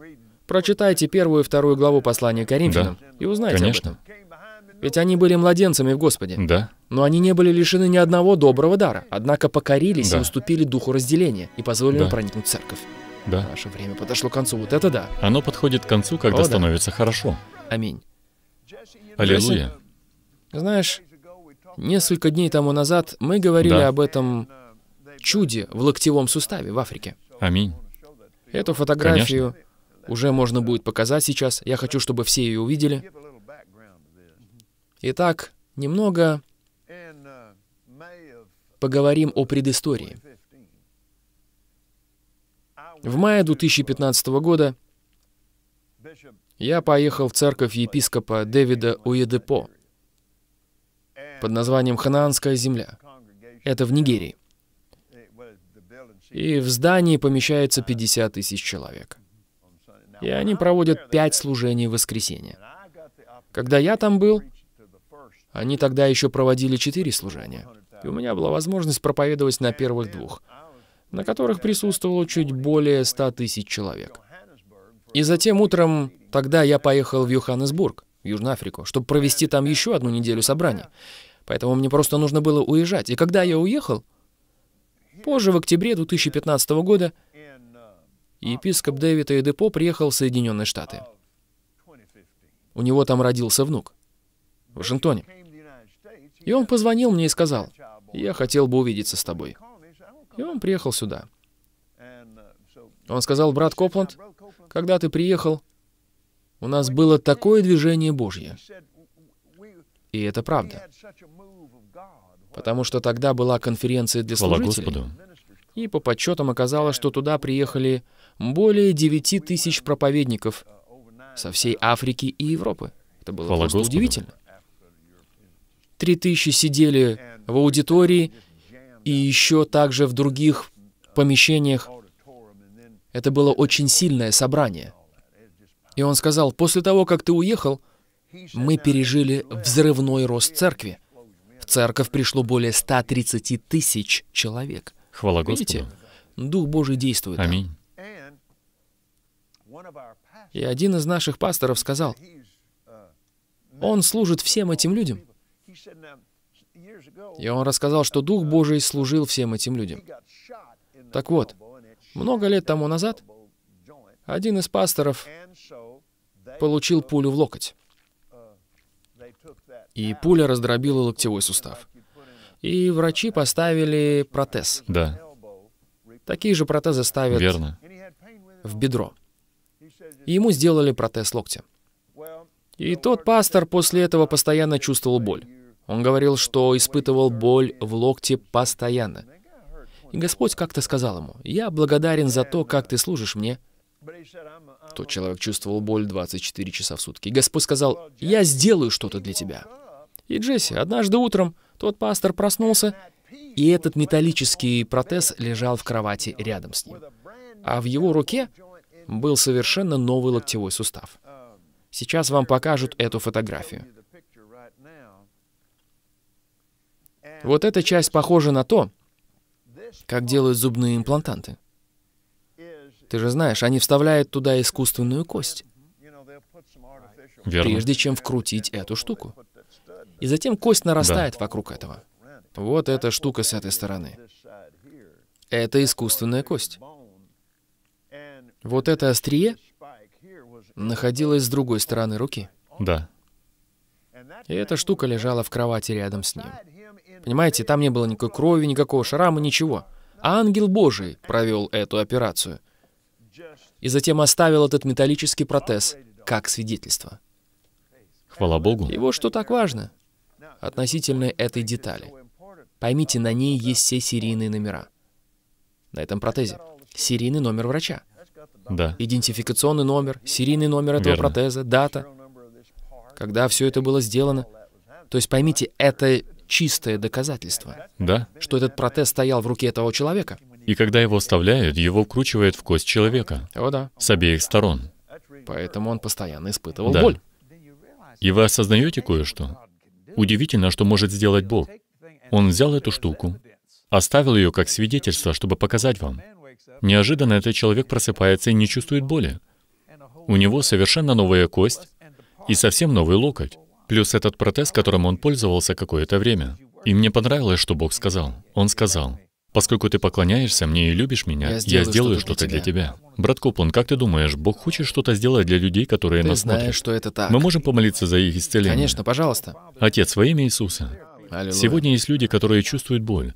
Они смотрят на нас, О, Господь. Иисус. У них рак, диабет, высокое давление, артрит, разные инфекционные заболевания. Но Ты сказал, что все названное должно преклониться перед именем Иисуса. Да. И, Господь, если Ты смог совершить операцию на локте этого мужчины без всякой анестезии, без ничего, так что он даже не почувствовал боли, а просто спал и оставил этот протез, чтобы показать нам, что Ты создал новый локоть О, Иисус. и новые крепления для кости, связки, все необходимое. Господь, я знаю сейчас, что Ты можешь исцелить людей, которые смотрят нас. Сатана, я связываю Тебя во имя Иисуса. Господь, я прошу Тебя, исцеляй людей, в то время, когда они простираются к Тебе и принимают эту молитву веры. Отец, Ты сказал мне помолиться этой молитвой веры. Эту передачу смотрят хорошие люди, которые служат Тебе, но сатана атаковал их тело. И, Отец, я прошу Тебя не просто исцелить их, но сделать их целостными от макушки Абсолютно головы целостными. до подошв ног. Да. да. Господь, мне не хватает слов, чтобы выразить Тебе благодарность за то, что Ты делаешь. И, Господь, пусть это свидетельство прозвучит в церкви, на работе, куда бы они ни пошли, и пусть люди возвеличивают Тебя. И пусть это будет славный момент Твоей славы. Я благодарю Тебя за это, Господь, во имя Иисуса. Аминь. Один человек, с которым я познакомился, он пережил автокатастрофу.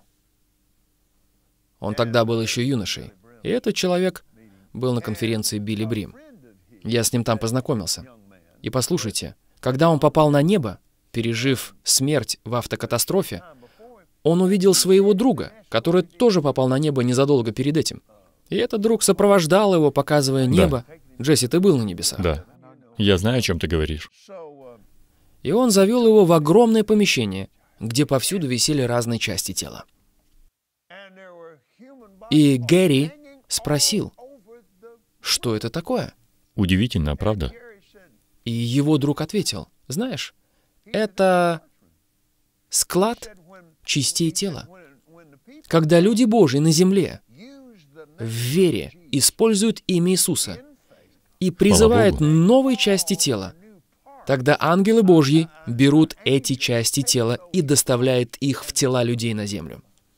Знаешь, когда я был на небесах, там было одно помещение, в которое мне не разрешили войти. Возможно, это был Возможно. именно тот склад. Потому что я спросил, можно нам войти туда? И он ответил, нет, вам нельзя этого видеть. И я сказал, хорошо. То есть я не обиделся. Мне просто было интересно, что там И находится. во время той аварии его голосовые связки были полностью повреждены. Их просто не было. Он видел всюду эти части тела. И поймите, он мог петь и проповедовать. Когда Господь воскресил его из мертвых и послал его обратно на землю, то есть он ожил. И он был в реанимации, когда вернулся к жизни. И я не помню всех деталей этого случая. Но вот что я помню. Он услышал, как врачи сказали, как жаль, что у него больше нет голосовых связок. Понимаете, он же тогда был совсем молодым парнем. Но через какое-то время он всем там сказал Конечно. «Привет!» Или что он там сказал. И понимаете, все врачи были сильно удивлены. Поймите, у него до сих пор нет голосовых связок, но он каким-то образом и поет, и проповедует. Хвала Богу. Он движется в этом уже приблизительно 50 с лишним лет, возможно. И, конечно же, как я сказал, это был единственный Живой случай, герой. когда я встретился с ним. И знаете, он очень приятный брат. Настоящий муж Божий. Это благословение Господне. связок. Бог может сделать все, что угодно, если мы Да. будем верить. Но нужна вера. Нужна Нужна вера. вера во имя Иисуса. Аминь. Вера в кровь Агнца. И вы основываете эти вещи на обетованиях Слова Божьего. Так сказано в 14 главе Евангелия от Иоанна. Это одна из наших с тобой любимых глав. Он сказал, «И все, чего не попросите во имя Мое, это слова Иисуса, то сделаю, чтобы Отец прославился в Сыне». Это само по себе вызвало бы у теологов приступ ярости, как ты говоришь. Но после этого Иисус говорит еще настойчивее. Дамы и господа, Он говорит, «Если что попросите во имя Мое», и это ключ. Понимание власти полномочия использовать имя Иисуса. Иисус говорит, «То сделаю». Это Евангелие от Иоанна, 14 глава. Я не открывал ее, но я ее могу процитировать. Иоанна, 14 глава.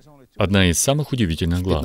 Мне кажется, есть только два или три стиха, которые не являются словами Иисуса. Все остальное да. — это слова Иисуса. Он сказал, «Говорю вам», 12 стих. «Верующий в Меня дела, которые творю я, и Он сотворит, и больше сих сотворит, потому что я к Отцу моему иду». Да. «Если чего попросите у Отца во имя Мое, то сделаю. Да прославится Отец в Сыне. Если чего попросите во имя Мое, я то сделаю». Знаете, что церковь делает с этим? Если на то будет воля Его. Он не говорил этого.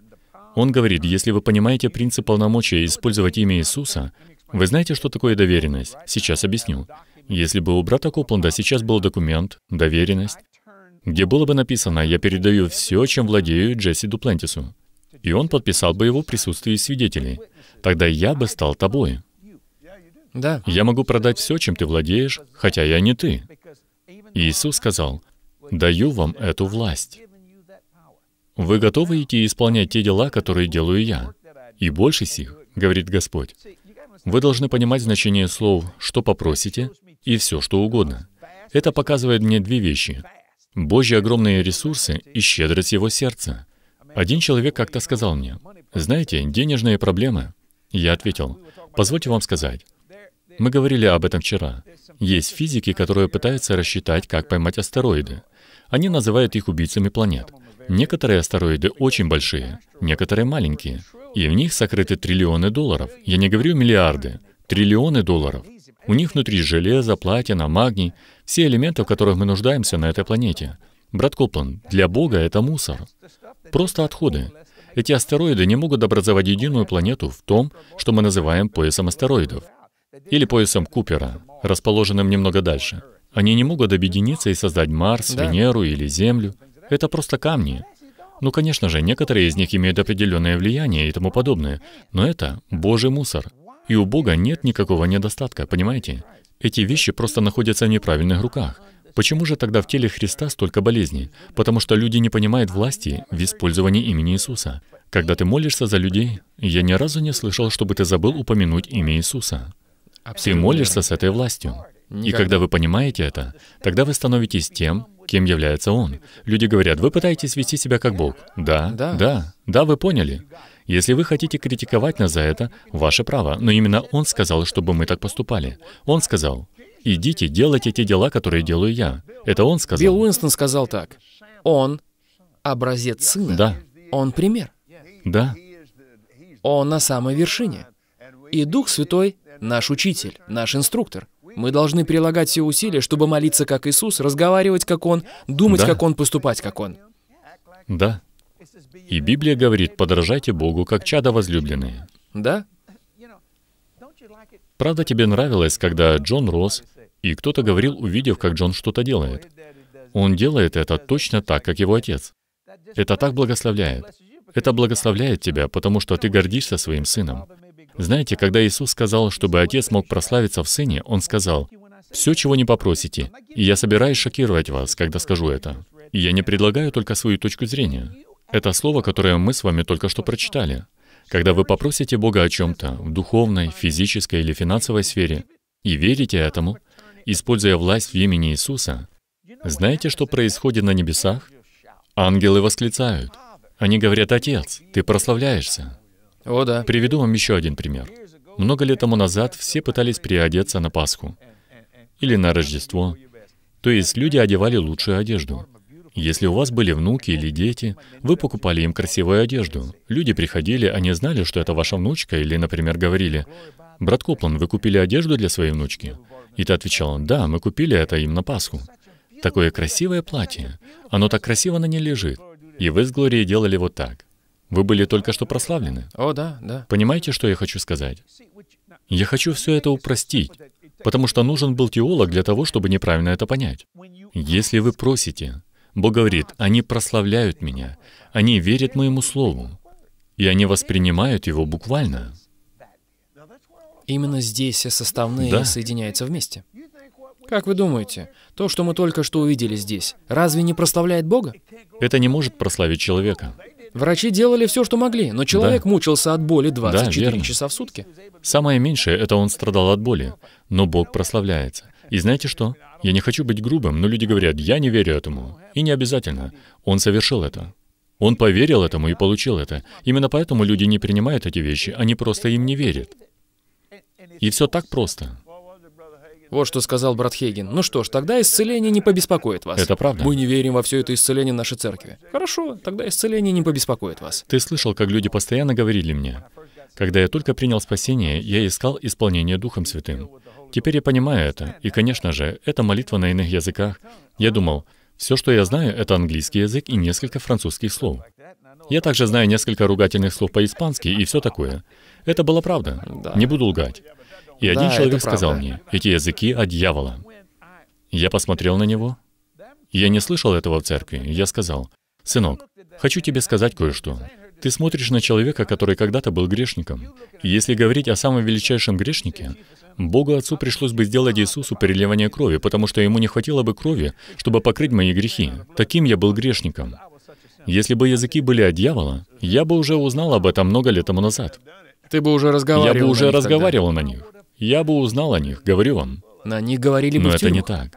Знаешь, где я нашел их? В Доме Божьем, от людей, которые были готовы молиться вместе со мной, верить вместе со мной. И все, чего они хотели, это чтобы я принял мой молитвенный язык. А я пытался все свести к интеллекту. Я пытался продумать, как же это сказать. Мне говорили, не говори по-английски, говори на языках. Я думал, я не умею разговаривать на другом языке, ничего не говоря. Как же мне это сделать? Я очень хорошо помню, был такой косоглазый проповедник. Сейчас он уже на небесах, его звали Уоллес Ки.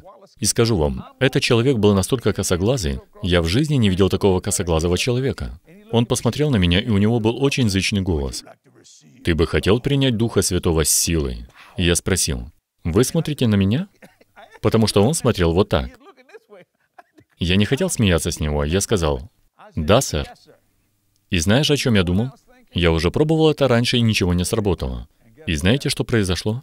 Он возложил на меня руку. Когда он это сделал, я тоже положил свою руку, потому что я подумал, что он испортит мне прическу. Он положил на меня свою руку, и мой разум стал бесплодным.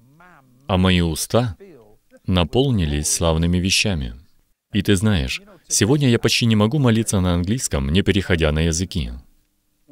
Да, особенно когда Писание так четко говорит о том, что языки помогают черпать мудрость Божию из вашего духа, из источника познания. Когда вы говорите эти слова на иных языках. Да, Вот почему дьявол так боролся с этим. Он борется с молитвой на иных Да. языках, потому что это имеет в себе силу. Ты очень правильно сказал. Твой разум стал бесплодным. И об этом говорится в 15 главе первого Верно. послания Коринфянам. Я не понимаю этого своим разумом. Я делаю это верой. Я молюсь на языках верой.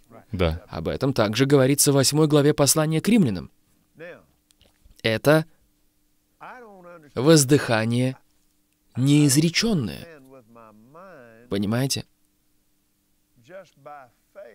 То есть ты можешь просто сделать шаг в сторону, и разум не будет вмешиваться. Ведь вы решились возложить все на Духа Верно. Святого.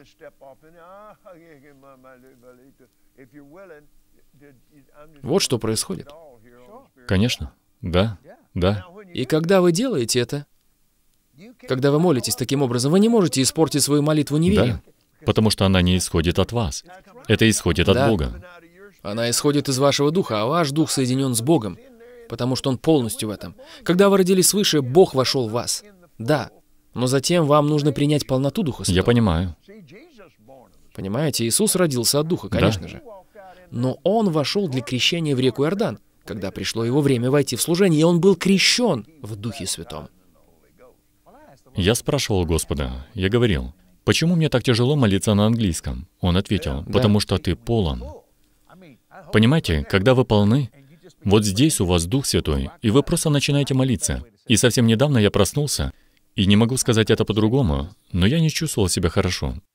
Я не был болен, просто не очень хорошо да. чувствовал себя, и я сказал, мне нужно себя укрепить. Но я не пошел за гантелями, я поднял свои руки, я был у себя дома, я начал молиться в Духе Святом, и это было как волна силы. Я подумал, вот это да. И Господь сказал, моя сила никогда не иссякает, никогда. Каждый раз, когда ты хочешь подсоединиться к этому источнику, ты можешь Помнишь, это сделать. в ранние дни пробуждения Пятидесятницы? Я представляю себе это. О, пошли силу. О, Господь, да. пошли силу. Да. Мы ходатайствуем об излиянии Духа Божьего. Сейчас, конечно же, мы не говорим «пошли силу». Вот в чем разница. Верно. Когда-то я делал да. это. Я молился так, «О, Боже, пошли силу!» И Бог остановил эту молитву. Я сразу же мог услышать Господа. Бог сказал, «Где я возьму силу?» «Что?» Да. «Где я ее возьму?» Я спросил, «Господь, я не понимаю, о чем ты говоришь». Да. И Бог сказал, да. «Где же я возьму силу?»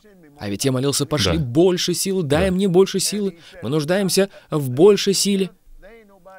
И Бог сказал, Кеннет, выше меня никого нет. Да. Я не могу Да. сказать, пожалуйста, пошлите Кеннету Да. чуть больше силы. Бог сказал, я уже весь в тебе. Да.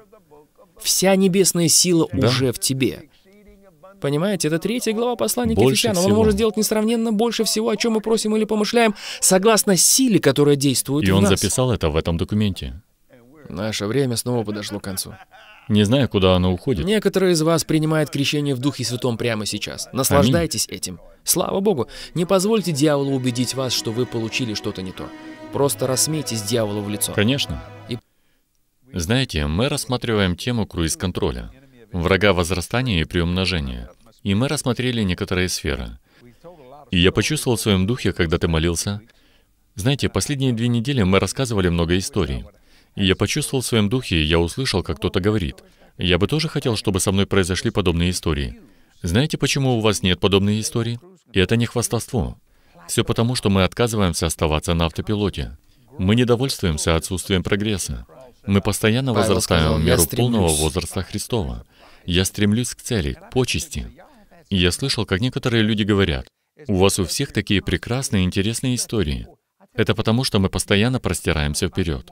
И я говорю людям, знаете, много людей хотят прийти к подножию креста. Брат Копланд, а я лезу на крест. Я хочу залезть на крест и видеть то, что видит Иисус. Я хочу увидеть эти распростертые руки и сказать, «Придите ко мне, все труждающиеся и обремененные, и я успокою вас». Понимаете, большинство людей находятся у подножья креста. И это чудесно. Поймите меня правильно. Но вам нужно взобраться на этот крест, на ту высоту, на которой находится Иисус, чтобы вы могли видеть. И когда Он обернулся, Он сказал вору, находящемуся рядом с Ним, «Сегодня же будешь со мной в раю». Он смотрит на вас и говорит, «Придите ко мне». Вам нужно всего лишь прийти.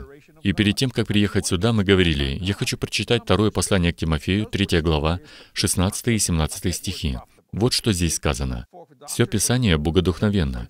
Если вы хотите быть вдохновленным Богом, это приходит через Писание. И обратите внимание, для чего оно предназначено. Оно полезно. Мне нравится это слово. «полезно». Видите, для научения, для обличения, для исправления, для наставления в праведности. Обратите внимание на 18 стих. «Да будет совершен Божий человек, Хорошо или сказано. зрелый ко всякому доброму делу приготовлен». Вы не принимайте возрастание и приумножение, пока вы не подготовлены основательно. Дом не в лучшем состоянии, если он не обставлен основательно. Каждая комната должна быть хорошо обставлена, понимаете меня? Прошлую ночь я провел в твоем доме, и я не вошел в комнату, которая была не убрана. Она была тщательно обставлена. И смотрите, это подчеркивает не только красоту дома, но также подчеркивает стиль Глории. Не правда ли? Это ее зеркало, это ее образ, образ тебя. Понимаете, о чем я? Когда вы переключаетесь на автопилот, он является врагом возрастания, и неожиданно ваше возрастание начинает уменьшаться. Видите? И когда оно начинает уменьшаться, тогда у вас никогда не будет таких историй, какие мы рассказываем здесь. У вас не будет таких исцелений, о которых мы говорим здесь. И я говорю это не с гордостью. У вас не будет таких служений, которые видели мы. И причина в том, что мы хотим, когда мне кажется, что я в совершенстве знаю Писание, я говорю, Господь, я только лишь коснулся поверхности. Был Да, один проповедник, конечно. Сеймур. Чудесный Его фамилия Сеймур.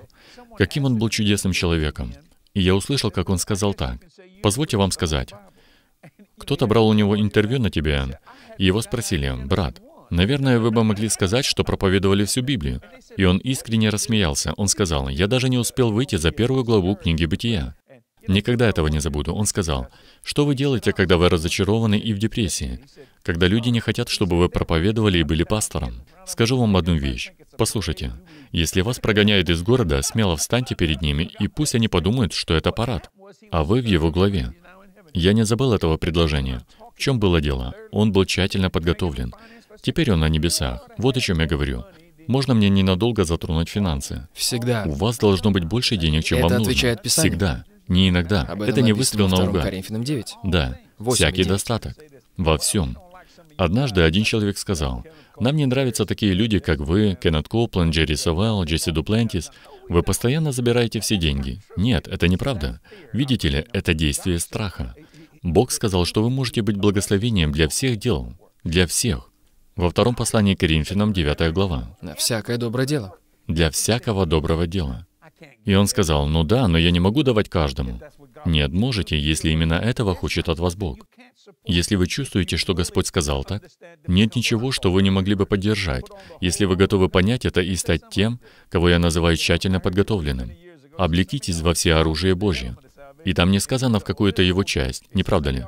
Знаешь, я слушаю, как ты проповедуешь уже много лет, и ты говоришь, Бог сказал шлем спасения. Это была старая запись. Ты сказал, а у некоторых из вас на голове всего лишь кепочка. Понимаете, у вас нет шлема, у вас кепочка. Поэтому дьявол и знает, кто вы, и у вас нет шлема, который закрывал бы все ваше лицо.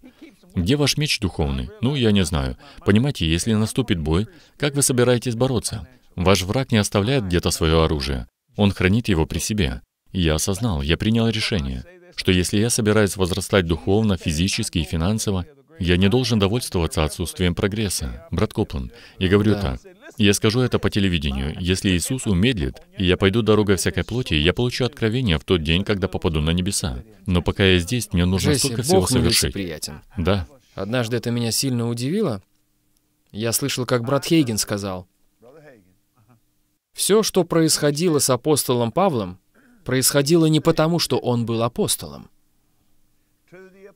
Знаете, я вот подумал, погодите-ка, это же апостольское помазание. Это же просто вершина всего. верно. Но брат Хейген затем закончил свое утверждение. Да, это важно. Брат Хейген сказал, все это происходило с апостолом Павлом, потому что он был верующим. Слава Богу. Он был послушным. Иисус сказал, «Сии знамения будут сопровождать тех, кто уверовал». Да, И евангелист Филипп был послушен Богу. Он до этого был диаконом в церкви. да, Бог повысил его до евангелиста. да. Удивительно. Почему? Он был послушным. Да. Он простирался кому-то. Я вспоминаю историю, которая произошла со мной и с Джерри Савеллом на одном из мотоциклетных ралли Eagle Mountain. Я хочу показать вам, что сделал этот человек. Вот этот человек. Там собралось 50 тысяч человек. Они приехали на мотоциклах с палатками. Это место — огромное море людей. И я стою рядом с Джерри Савеллом, Брат Копланд выходит на сцену, чтобы открыть конференцию. И вы понимаете, у служения Кеннета Копланда множество оборудования, повсюду. Я имею в виду оборудование, которое необходимо, чтобы проводить такие служения. Джерри наклонился ко мне и сказал, «Знаешь, когда я начинал работать с братом Кеннетом, все оборудование можно было загрузить в багажник одного пикапа. И Джерри был водителем этой машины, кстати. Я подумал, знаешь почему? Все это оборудование, которое необходимо для исполнения работы служения, оно пришло потому, что ты не соглашался на отсутствие прогресса. Да. Ты не стал тем, кого я называю удовлетворенным. Ты до сих пор не довольствуешься этими знаниями, которые Бог дал тебе. Ты постоянно растешь Однако мы время. должны предостерегать себя Да. от этого. Это правда. Потому что когда вы начинаете, вы готовы на все. У меня не было и 10 центов. Верно. И ты веришь Богу даже Верно. о пище, о еде на столе. Мы были Да. в таком состоянии. И потом, когда приходит поток, ты хочешь немного расслабиться, приостановиться, отдохнуть. И потом ты снова хочешь немного отдохнуть. И вот что я заметил. Это на 180 градусов противоположно тому, что должно быть. Понимаешь, люди надеются, что Бог не будет говорить им делать то, что они не могут сделать своими силами. А это опасное состояние. Бог говорит вам сделать то, что Да. вы не можете сделать. Не потому, что Он хочет быть жестоким к вам. Нет, на самом деле Бог даже не хочет, чтобы вы Верно. это делали. Он собирается дать вам свою благодать для того, чтобы вы Конечно. делали это. Все, что ему нужно, это Да. лишь, чтобы вы согласились. Я говорил об этом на прошлой неделе и рассказывал о том, как Бог сказал мне посеять служение брата Хейгена 50 тысяч долларов. Верно. Лично у меня никогда не было 50 тысяч долларов, но я просто был послушен Богу. И я просто начал с какой-то мелочи, которая Конечно. у меня была. И как только кто-то мне что-то давал, я отсылал это все в служение брата Хейгена. Я даже не считал это. Не прошло много времени, и я связался со служением брата Хейгена, и я подумал, возможно, мы дали половину суммы. Но на самом деле мы намного сумму. превысили Да. всю сумму. И я осознал, когда начал молиться об этом и размышлять, что Бог давал умножение по мере того, как я посылал брату Хейгену эти деньги. Знаете, это было сверхъестественное умножение. Ведь я очень хорошо знаю, что у меня не Верно. было Я 50 знаю, о чем ты тысяч говоришь. мелочью Да. в кармане на какие-то расходы. Но у Бога было. Бог умножил это, понимаете? И что это сделало для меня? О, Господь, скажи мне сделать еще что-то. Я хочу, Да. чтобы ты говорил мне сделать то, что я не могу сделать своими силами. Да, Потому что когда ты, Господь, делаешь это, это соединяет меня с тобой, Господь, и мои границы расширяются. Это умножит все, что мы делаем. Всякий раз, когда мы это делаем. А если вы движетесь на автопилоте, на круиз-контроле, вы как будто Да. бы прячетесь на Вы скамье ленитесь. запасных и не хотите, чтобы Да. тренер позвал вас.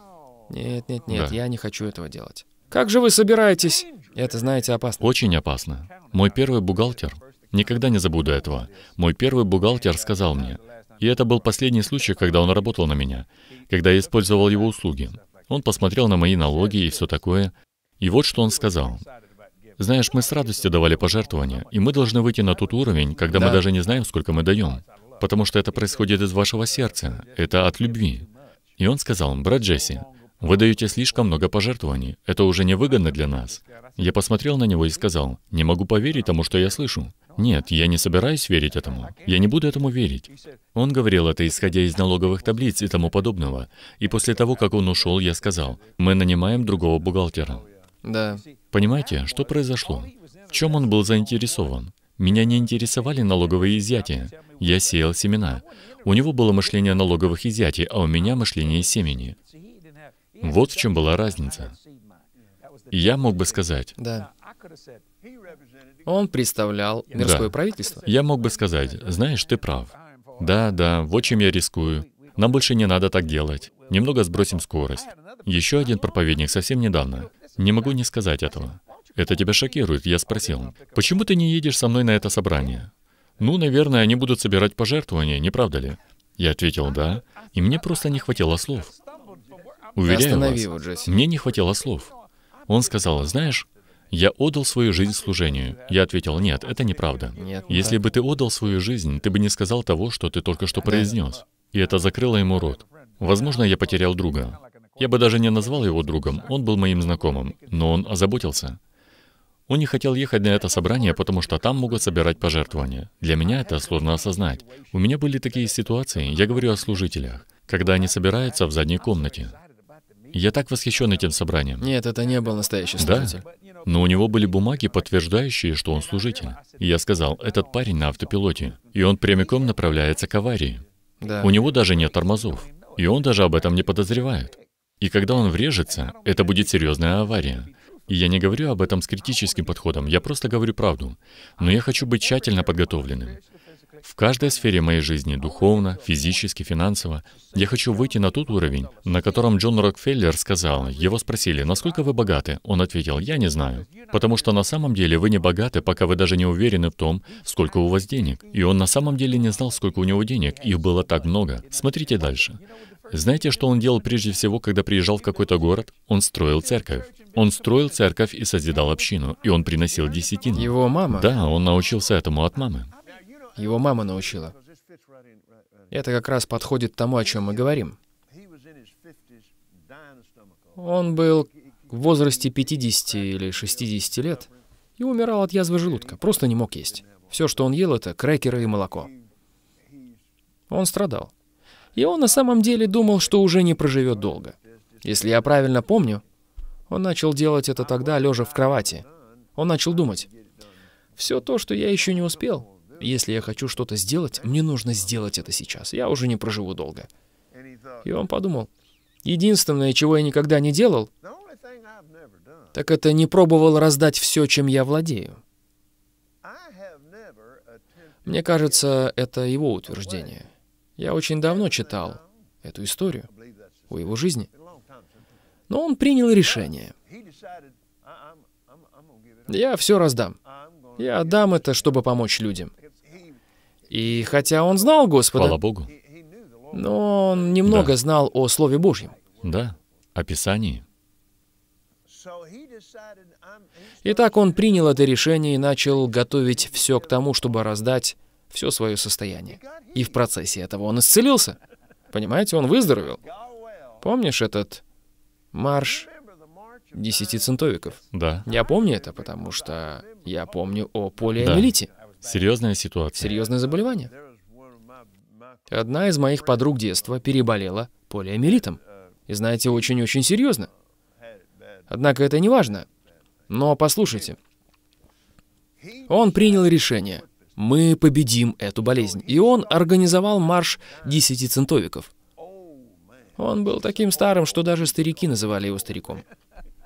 Итак, продолжаем. Он был уже в пожилом возрасте. Джесси. Он выложил милю десяти центовиков на Пятой авеню в Манхэттене. Одна монета в 10 центов за другой. И так целую да. милю. Этот старик должен был умереть еще четыре года тому назад. А тут он выложил целую милю монет по 10 центов. И мы еще детьми приносили 10 центов в школу. И собирали да. их в небольшие консервные банки. Люди собирали 10 центов Верно. по всем Соединенным Штатам. И таким образом собрали огромную сумму денег. Да, он хотел быть благословением. Он хотел благословлять людей. Видите? Его потомки до сих пор пытаются потратить его деньги. Да. И не могут. И не могут. И я говорю о его потомках. Ты знаешь, когда он умер? Мне кажется, он родился в 1830 или 40 годах. Где-то так.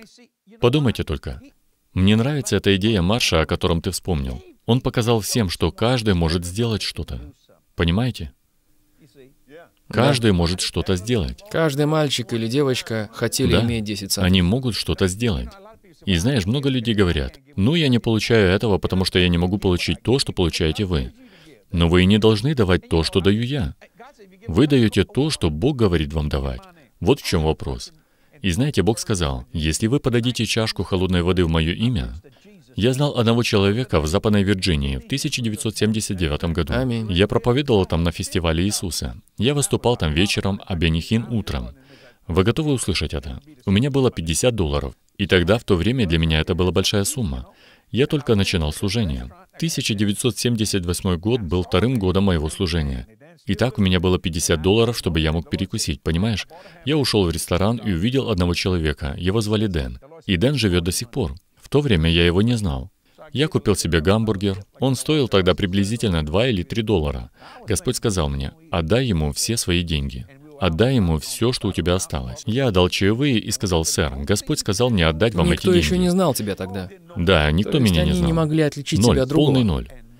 Я думал, как же я буду есть следующие три дня? Мы были со стороны гор Западной Вирджинии. Я вышел оттуда. Единственная пища, которую там можно было приобрести, это ленивые пирожки и сэндвич. Короче говоря, у меня не было ничего. Я сказал, что ж, я буду поститься. И нас спросили, хотим ли мы стоять в небольших киосках, чтобы люди могли проходить мимо и здороваться с нами. Мы так и сделали. Кеннет, все эти дни никто этого не видел. Я приходил в свой киоск, дамы и господа, там все ели эти сэндвичи. А у меня было жареное мясо, картофельное пюре и подлива, и кока-кола со льдом. На улице было очень жарко. Я спрашивал, кто-то видел, кто положил мне это? А они отвечали, это для брата Джесси. И я так и не узнал. Все эти дни у меня была превосходная пища, но я так и не видел, кто приносил ее. Через восемь лет, когда я проповедовал в Западной Вирджинии, ко мне подошла пожилая женщина и спросила, «Вам понравилась моя стряпня?» Никогда не забуду этого. Я сразу же сказал, «Паркерсбург, Западная Вирджиния». А она ответила, «Когда я выглянула из своего киоска, Господь сказал мне, накорми этого молодого человека. Мне было тогда 29 лет. Накорми этого молодого человека. И когда я думаю об этом, мое сердце тает. Но она Да. так и не сказала мне об этом. Только через 8 лет, когда я начал выпускать проповеди на кассетах, я вернулся туда, и я стоял там, а она проходила мимо со своим мужем. «Вам понравилась моя стрипня?» Я сначала переспросил, «Ваша стрипня?» И сразу же выпалил, «Паркерсбург, Западная Вирджиния». И когда Господь сказал мне, «Я же говорил тебе, что позабочусь о тебе», я подумал, «Да, ну и как ваши дела?»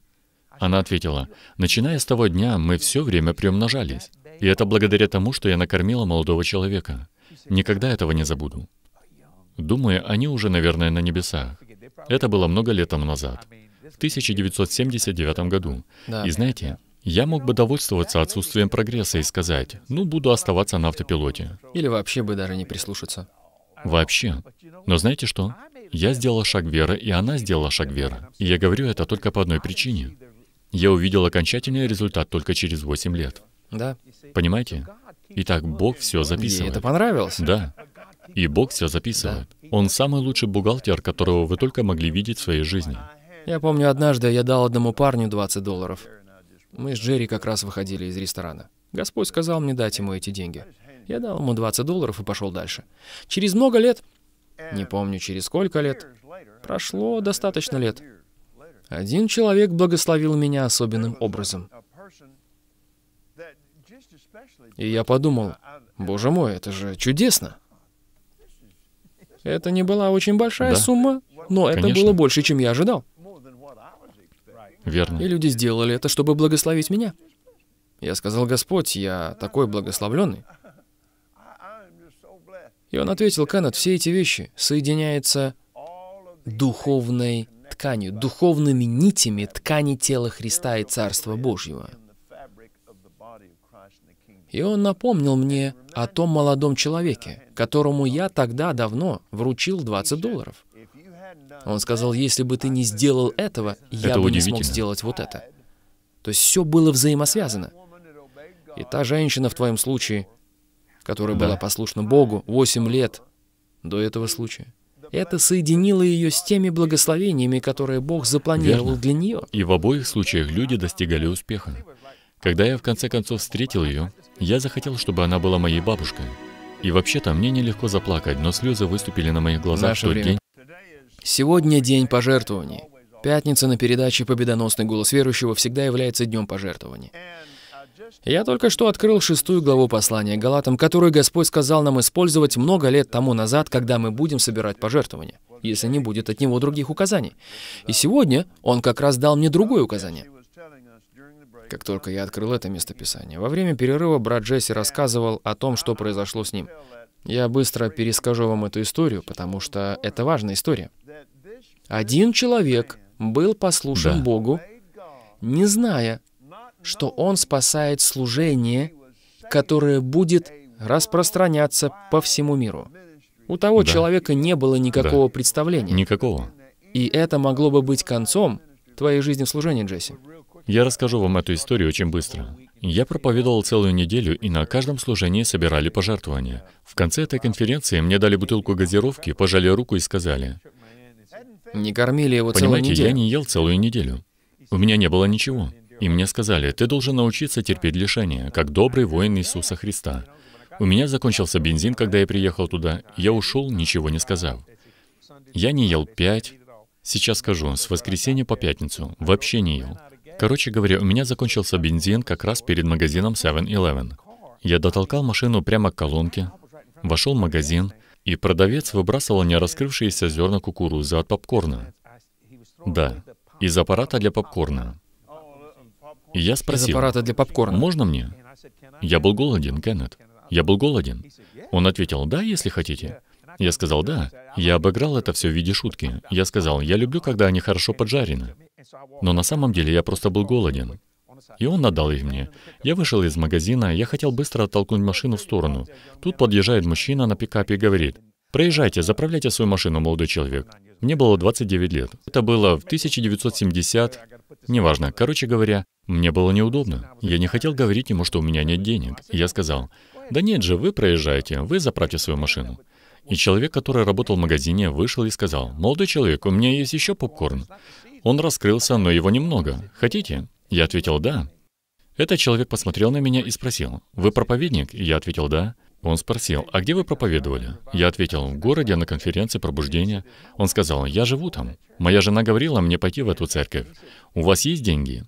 Я ничего не хотел отвечать. Он продолжил, «Вам не дали пожертвования?» Он очень разозлился. Я сокращу эту историю. Он разозлился и начал ругаться.